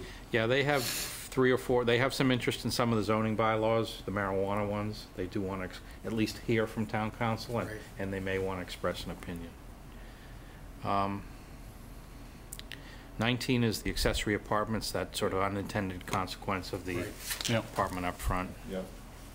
And I would certainly suggest that we take a position on that, uh, given that we were prime movers and shakers on that, even though CPDC sponsors it technically. I'll look at something here. Did we ever get back to that guy? What? Dude, weren't we supposed to kind of monitor that guy? The- Oh, Well, it was a springtime Flow chart. issue. Ah, Did this you is- to put some yeses and nos on that flow the- chart? Get the spring. I tried to, I couldn't figure out how. Oh. Uh, you can do it in paint, Okay, I'll try that. yeah. I gotta can add labels. change it to Use, what uh, the I articles think really are. Text boxes they're called. Uh, It seemed like JPEG. Articles 20, 21, and 22 called for an overview up front to say Yeah, what those the do. heck's going on here. So, you know, this picture kind of summarizes it. Um, If the Yeah. local voters vote yes, and I couldn't figure out how to make a yes there, Yeses are up. then we go to Article 20. If town meeting says yes to that, then Yeah. we go to 22. If they go to, say no on 20, we go to 21 for a moratorium. if the voters say no, we The go to voters for 21. no, we go to a moratorium. It's really not hard. Right. I think this visual will help some people. But all that's necessary for the voter is the very simple, do we want recreational and um, commercial? I don't know if we need to get into that depth in the FAQ. If we're just talking to the voters, I don't think you need to go there. they're there. gonna get confused if we. The voters Well, only it's- need to know I don't about think it's germane to this. the question. Well, the other thing too, is, I mean, one of the things is what happens if this doesn't pass? Well, we'll say there are other options the town meeting can consider without a lot of detail behind it, I think. That might I, be I think you gotta be very careful of the, Yeah. what if it doesn't pass thing. Okay. I don't think you can go there, actually. I mean, Yeah. I- You Look, think I- that? I'm- you know, I don't, I They're don't gonna think it's a wanna very if they- complex issue. The the consequence I of think the it's no pretty straightforward, actually. We can keep it very general, but we need to tell them there's a path. I think that- all you can really say in a no vote is town meeting will be asked if they will pass a moratorium while we figure out rules, which don't may or see- may not pass. See a problem with that? I mean, I don't wanna. I don't wanna confuse the issue.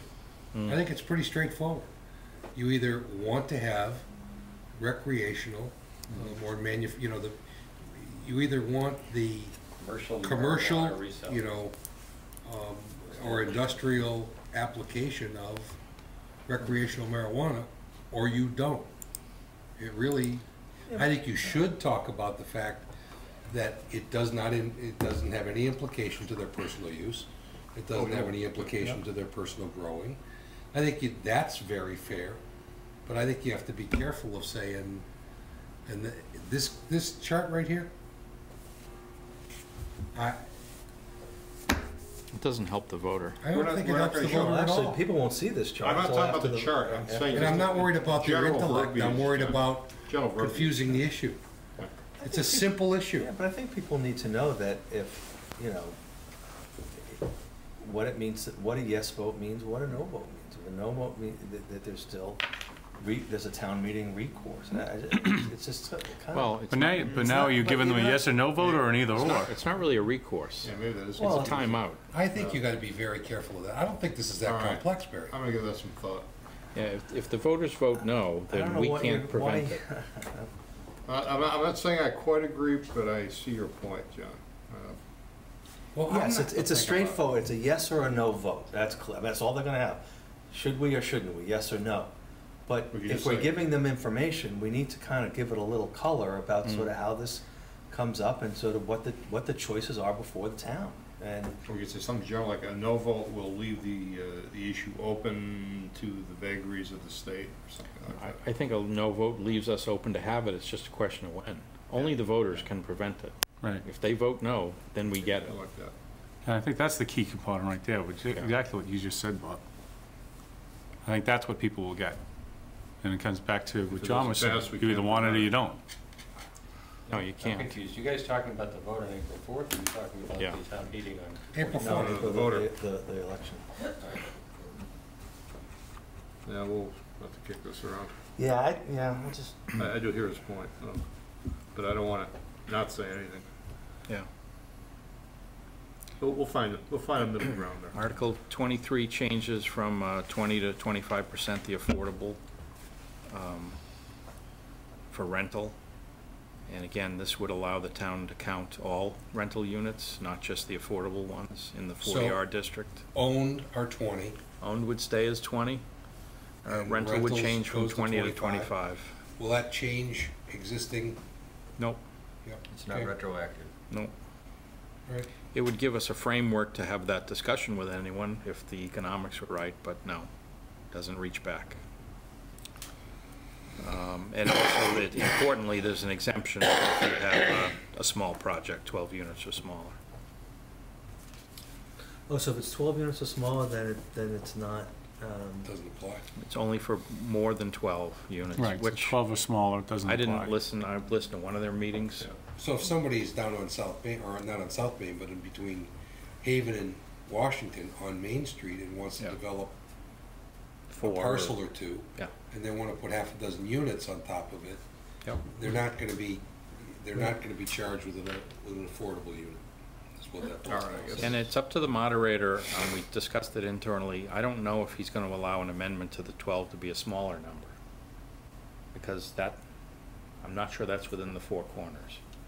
You can make it a bigger number and make it less onerous, but to make it more onerous, I I'm don't not think- sure, Yeah, I don't Just- think you can. just to throw that out there. why there. don't we just put a, we should have had at least a minimum, you know, number, I mean, if you're gonna do, you know. Well, it's minimum of 12. one. Well, No, but I 13 mean, if you're gonna do like ten units, you know, to have a minimum of, Well, the thirteen would be twenty-five percent of thirteen, no, or but just to twenty do, percent of or, thirteen. or, or so it's, it, it's exempt under twelve, but then you have sort of a, you know, um, it's not twenty, it's, it's a, it's one. You know, I- Have why, two why do we give, options. why do we give the, why do we give, you know, lose the ability to create an affordable unit if it's a smaller product? Granted, might only be one or two, but it's still. For the simple reason that affordability wise, for the developer, they're gonna have a problem making that decision, making the thing pencil out. Yeah. Yeah, I don't I mean, know that's how why. CPDC ar- arrived at twelve, I'm sure there was some discussion. I think it's arithmetic. Yeah, I had heard property owners want, you know, having interest in doing four units or six units. I don't know what I missed to get them to twelve. I'm sure there was discussion, though. Uh, and lastly, I, I think, well, aside from town meeting members, is the, uh, making the smart growth district bigger and putting it to the, you know, all of Business B as shown in this map. So currently, it's this dotted section right here. Yep. And this would just enhance, uh, increase it to the other side of Main Street. And that's, that's one we should weigh in on, in my opinion. And the last article so, is uh, town meeting members that did not attend uh, half the sessions. This is kind of a big list, but if you remember, we had Shocked three town. I'm shocked at some of the names. Well, we had three town meetings going at one time, so that counted three times against them if they weren't there. Oh, Uh, true. So, That's not fair. all right, well, it is what it is. So there you go. I'm sure they'll be rescued by their uh, respective uh, cockeye. Or if they show up. If they If they're there. I think they'll be there. So Paul has listed all the articles I just covered from four to the end. They tend Um, to, Board can do what it wishes. they wishes. tend to show up for that, for the April one. Yeah. The only, the only two I would see us not supporting are ten, the library, and twenty-five, the removal of members. Anybody have any other thoughts? How about the uh, retirement board? Oh, uh, yeah, I've got questions on that, too. Why would we not do the li- the library? Well, I'm not I don't- proposing I'm not anything, proposing any so. money for, Yeah. there's no, there's no money recommended, so I, I- I'm gonna say the FinCom shouldn't support it, because I'm not, Well, we could we're recommend not it asking for table. anything. It's not an article yet. or we If, just if, not if doing it turns into an article, I, again, I'll have a lot of explaining to do, and I will, but, we could just, just not even take a position on it. That might be a better way, Yeah, yeah. And then just, yeah. So we would eliminate, I would eliminate the retirement board too, because I'm not comfortable. If- If FinCom's not comfortable, I'm not. So that's twelve. Ten is library. Well, isn't town meeting want us to take a position on these things? It's up to you. totally up to you. I mean, I'll, I'll. Well, I mean, do we, I mean, some of those retirees Won't were on making it twelve, if- fifteen thousand dollars a year, I mean. The Times are tough, Barry. I, I, I don't mean to speak for FinCom. Yeah, that's just Sharon's words saying, okay. you know, she talked to a couple members at the end of the meeting who were I not, didn't- I didn't get a not raise in disposed to supporting security it. this year. What was the other um, article to pull? Uh, 25? Twenty-five is formulaic, right? It's there Yeah. every year. Well, yeah. Yeah. We observe Yeah, it. you shouldn't take a position on that. That's never town take- meeting. No. That's not our Which one is business, that? that's the Oh, business that's- of oh, the the, precincts. uh, It's up to Yeah. the individual precincts. It's the precincts and the town meeting, that's really the not our states business. decide. No dog in that fight. So, So 10, 12, and 25. right. You can move all the rest if you want. We all, all set with discussion? I- I- Yeah, is there, do any, does anybody need to talk about any of these articles? No. Other than the ones we talked about? Do we wanna weigh in on the, on the, on the forty R? I mean, do we wanna have a position on that? I think you are, by default, you are by not eliminating them. Oh, okay. Yeah, let's have an objection. So would anybody mind if I just read this motion and just say, move all of the recommended subject except matter for- with the exception Absolutely. of twenty-five, ten? 10 and 12. 10 and 12. Although the budget's in here, do we, are we moving the budget? Um, Have we in the past? Yeah. Yes. Okay. We have part of that. and We're part of the solution to the school committee, I guess, with the, uh, Well, we, you to know, we path always forward. sit as an an advisor to Bob, and it's Bob's budget, and Yeah, I think it's an endorsement of for Bob's another couple work. weeks. another couple weeks? Another couple weeks. Okay. Although the FinCom will be the wanting to talk, be the ones to talk, present it, right? Yeah. Okay. Motion on the floor, I will second. Any further discussion? So this takes out 10, 12, and 25? Yes. Got that right? Right. Fourth through 24, otherwise, they're, okay. Yes. All those in favor?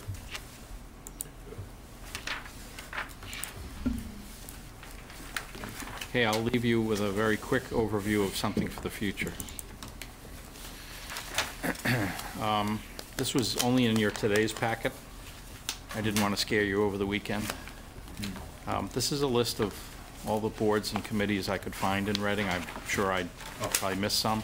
Is that tonight? Uh, It's, it's in tonight's handout. I- Twelve, page twelve. If you start at page I'm sorry. um, 10. 10 and 11 give you background of where the boards get their authority. I thought that'd be helpful, and I, I broke them into four groups. Um, Elected boards and committees, that's pretty easy, independent of the selectmen. You have the library trustees, selectmen moderator, commissioners, RMLD commissioners, and the school committee. What's Those are easy. OML, uh, Open meeting law. oh, Um, And then you have another group of what I would call um, generally independent of the Board of Selectors. I mean, you do appoint some members to the Audit Committee, but they're really very independent of of you.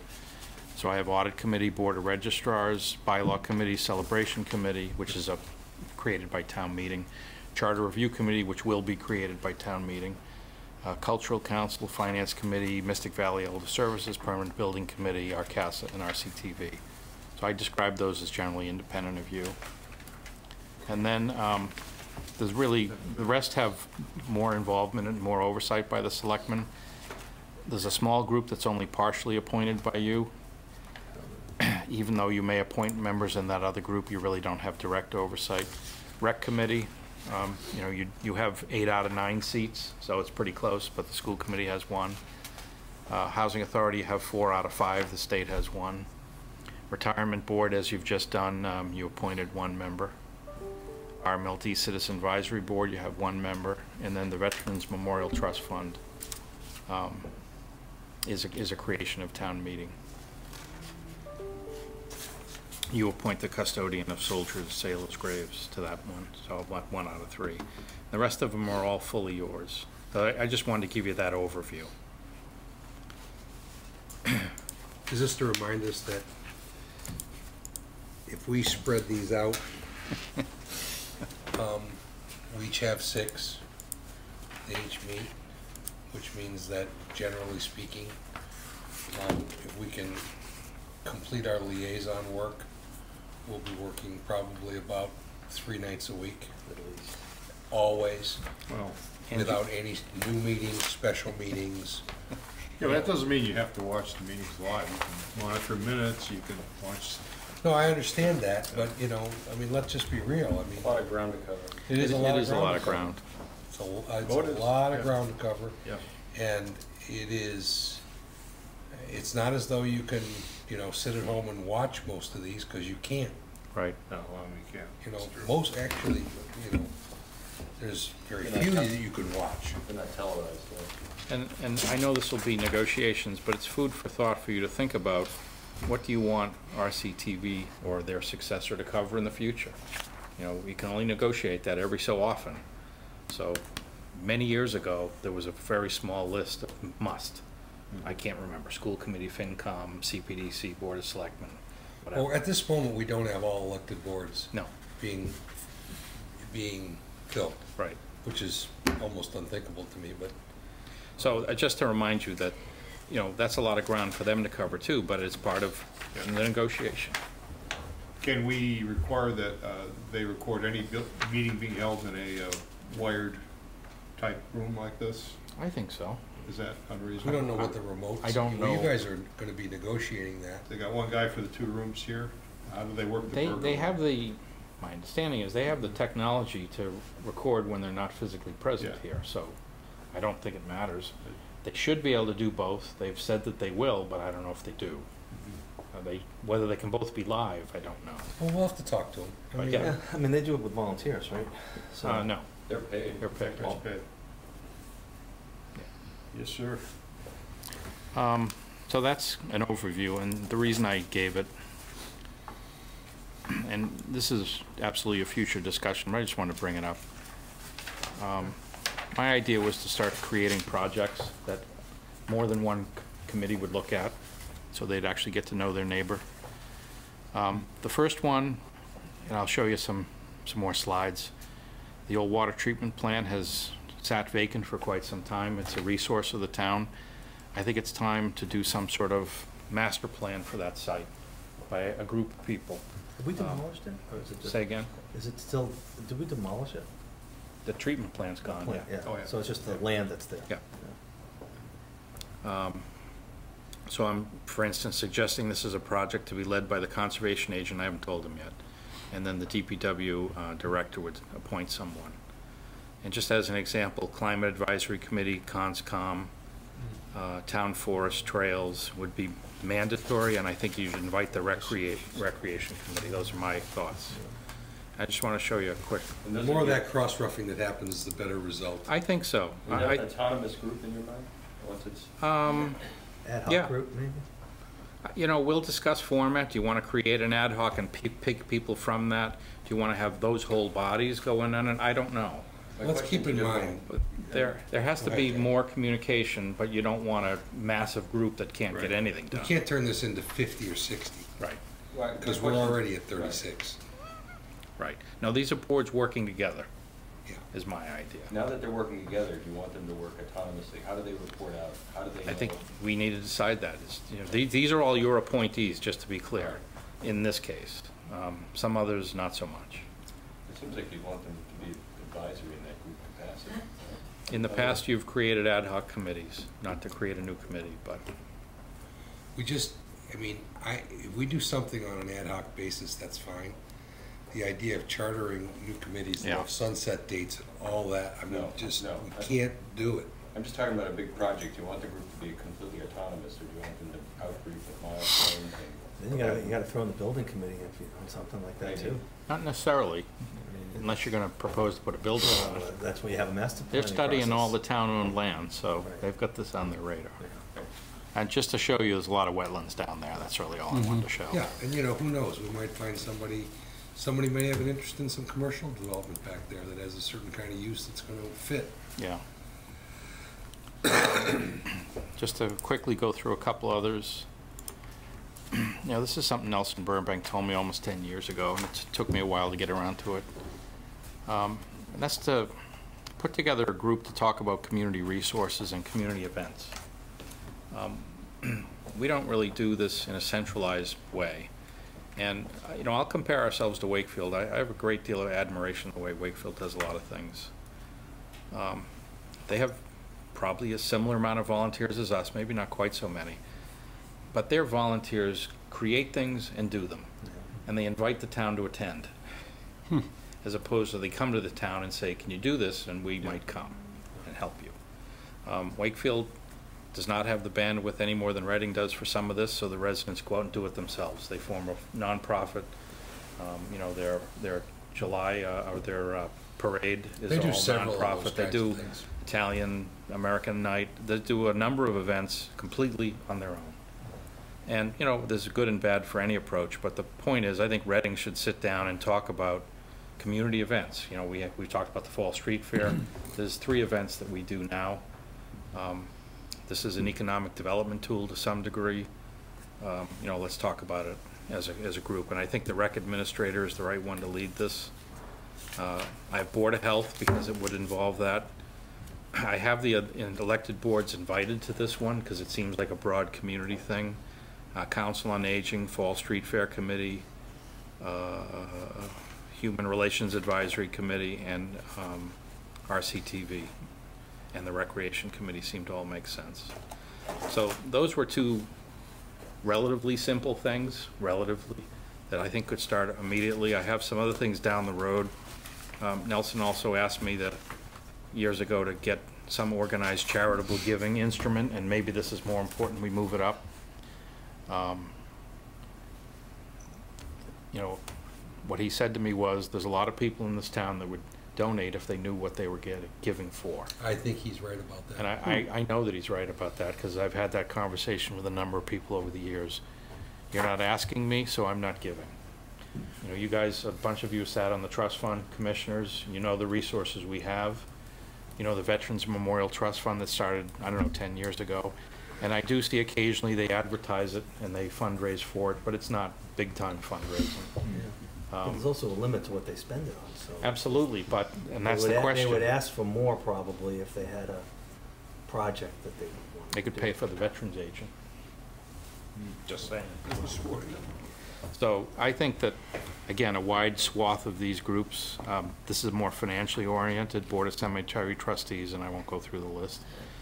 Um, Historical document preservation, I think at some point is very important for this town. Yep. Uh, A lot of you know what's in this building, what's in the library. Yeah. It's, it's about time we organize that, and the town clerk should, and the library should People be would give involved money in that. f- for that. I Yep. think you're absolutely right, Barry. It's fifteen thousand in the budget for this next year, but it's a holdback for the school budget. Uh, fifteen thousand doesn't go very far, but she, No, but Laura you've got can. climate issues, you've Well, got Laura can come in preservation sometime and show you what she did for fifteen thousand last year. It's really remarkable, some of the d- Yeah. documents that were restored, um, from hundreds of years ago to current condition. So it's kind of embarrassing that we don't do a particularly good job on this. It's really one the coolest books I've ever seen is this uh, At Wood End. Yeah. It was issued Right. on- Wood End is a great book. I, I go back to, because there's a ton of work put into writing that and laying it out. I could imagine these historical documents might be a kind of a, an appendix to that. Well, and we have a. Have you ever, have you ever roamed downstairs? I have, I mean, I, I didn't even want Hmm. to, you touch, you're afraid of touching Turn some the of these dust. things. They're four hundred years old, right? Break it, you bought it. Yeah. But it's stunning what's sitting Excuse me. downstairs. Um, I- You could, you could product that, you could turn that into something people would buy. Another kind of a compendium of the history of Reading from the original documents. I mean, we have, you know, very interested and active two historical commissions, if you will, at this point with the Historic District Commission. One would think this is a project that they would enjoy. Yeah. And I think a lot of people in this town would enjoy participating. Especially coming up to our three seventy-fifth.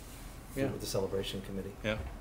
And, and last but not least, Andrew and I have chatted about this. We're not sure what the right timing is. He'd rather do it yesterday. Some kind of economic development planning that would involve a lot of boards and committees. That's a much bigger project. That's a much bigger thing Well, he's to making his rounds. Yeah, I know, he It's is. herding cats. Yeah, But he's doing a good, he's doing a really good job of He making is. the rounds. yeah. Um, Yeah, and he wasn't kidding about that lunch he set up, because I That- had that's heard fine. about that. Um, This one is, is a big project. This is essentially what you've sort of discussed for the last year or two of having a summit. Right, I think this is really the focal point of such a summit. absolutely. Doesn't involve every board or committee, but it doesn't, it does touch many of them. We, we have to act on this. It gives you a focus. So I just wanted to throw that out there now. Um, We kick it around a little bit more as to, first of all, what's the most important priorities? We don't want to do them all. There's no way that's going to work. pick one or two, we can get started. Right, because I mean, these boards still have their regular work to do. Right. And you want to discuss, each of, each of these or any other idea can have different formats from each other. Doesn't all have to be the same thing, but you want to discuss that.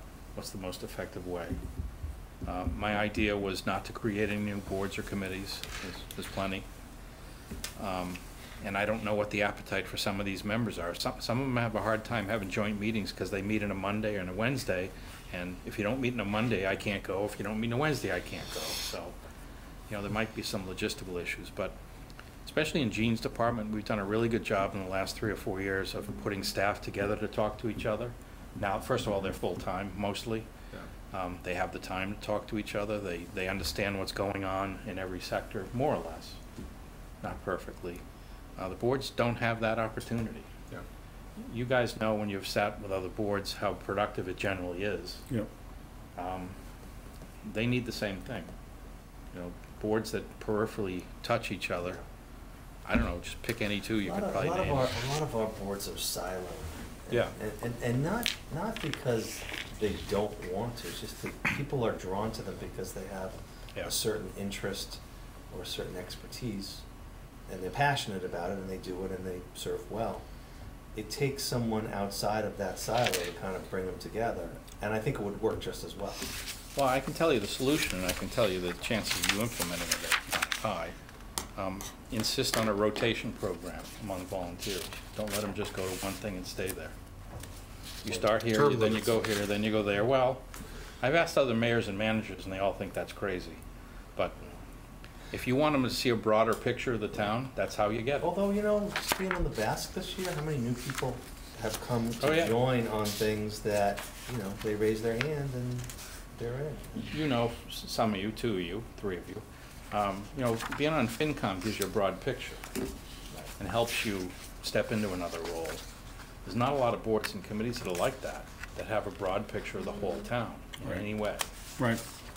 You know, they have it for conservation, they have it for historic, but they don't have all the pieces. And you're right, it's not their fault. You're not gonna be on CPDC and then like on the, the, you know, the Trails Committee. But these groups would create Right. that, that Right. vantage point. They- that- that's a non sequitur. Yeah, I think you just gotta get people in the same room for some common purpose, even if it's to have to argue about something and not agree for a while. I'm, I'm interested in trialing and see what you get. You might be surprised. People might I, rise. yeah, I think they would. I think we have to bring the project to them though. In other words, you just can't say, okay, guys, what do you wanna do? And then you'll have eighty people Well, with that's ninety why, ideas. you know, Strout is, that's a project. Right. Here's an area, figure it out. That's tangible. That one's easy. The others I'd have to work a little bit on. You need a desired outcome, and you need to describe all the focused means that they can use at their disposal. Yeah. Well, not even necessarily an outcome, just say, here's a, here's a problem set. Well, you know, the And- timeliness of this is really important because what it does is it, I mean, we're ready to reorganize soon. Yep. And, you know, typically coming along with that is, you know, moving around the liaison responsibilities and, you know, a fresh set of eyes in some cases, experience in others, but it all ties into this thing that you're building here, Bob, this matrix. Yeah, and, and, you know, some of these groups will work out, some of them won't. Uh, you learn from both, and you try it again, whatever it is. Is, um, we're coming up on three hundred and seventy-five years, right? It feels that way. Oh, we It are. wasn't all done tonight. We are. Yeah, Alan is, I guess, leading that effort, Alan Folds, Yeah. but I haven't heard from him since, I think it was last annual town meeting, he might have given up. Maybe it was a w- year ago, November, actually. I don't remember when. Well, That could be, that, that could be a focal point. I mean, Yeah. you could have, Well, that could be this community events focal point. Where I was going with this, though, is, um, I belong to a church in Wakefield that was the first parish, and they're doing their three seventy-fifth. And I know all of the derivatives they're doing as well. North Reading's doing the Hmm. same thing. Is there a, a really big idea between all the towns? No, that's interesting. though. Between all of Old Reading. Yeah, Wakefield, North That's an Reading. it's close to Lincoln. Which it is. I mean, that's Reading. Welcome to sixteen forty-four again, right? I also want to pass this around, speaking of Old Reading. That is a very cool item here. Some of you have seen this, some of you haven't. It's, the it's, thing. it's attempted to be produced in your handout Yes. tonight, page thirteen. Sort of got the idea. Handle with care, it's really cool to even see that the color still exists. Uh, For the audience, I'll read um, a letter from Post Office Box 5859 in San Diego, California, uh, addressed to me. Dear Sir, on Sunday, June 6, 1954, a parade formed near Chute Street, then marched along Haven Street to Main Street to Pleasant Street, to where Pleasant Street intersects Eaton Street. That was followed by the dedication of a Little League baseball field freshly built in the Hunt Memorial Park. Although I don't know how they got it, my family has a hard copy of the souvenir program for that event for many years. It's in good condition and I thought Reading might like it. The adults involved here have long gone, of course, but some of the players aged 8 to 12 might still remember the dedication and might like to see what they looked like as children. I includes the program. Bill Brown? Jim Varnador. Oh, no, that's not, Bill Brown would So- precede this. First of all, this is one of the most interesting documents I've ever seen. And for this fellow to take his time instead of just tossing it and writing it to us, I thought was great.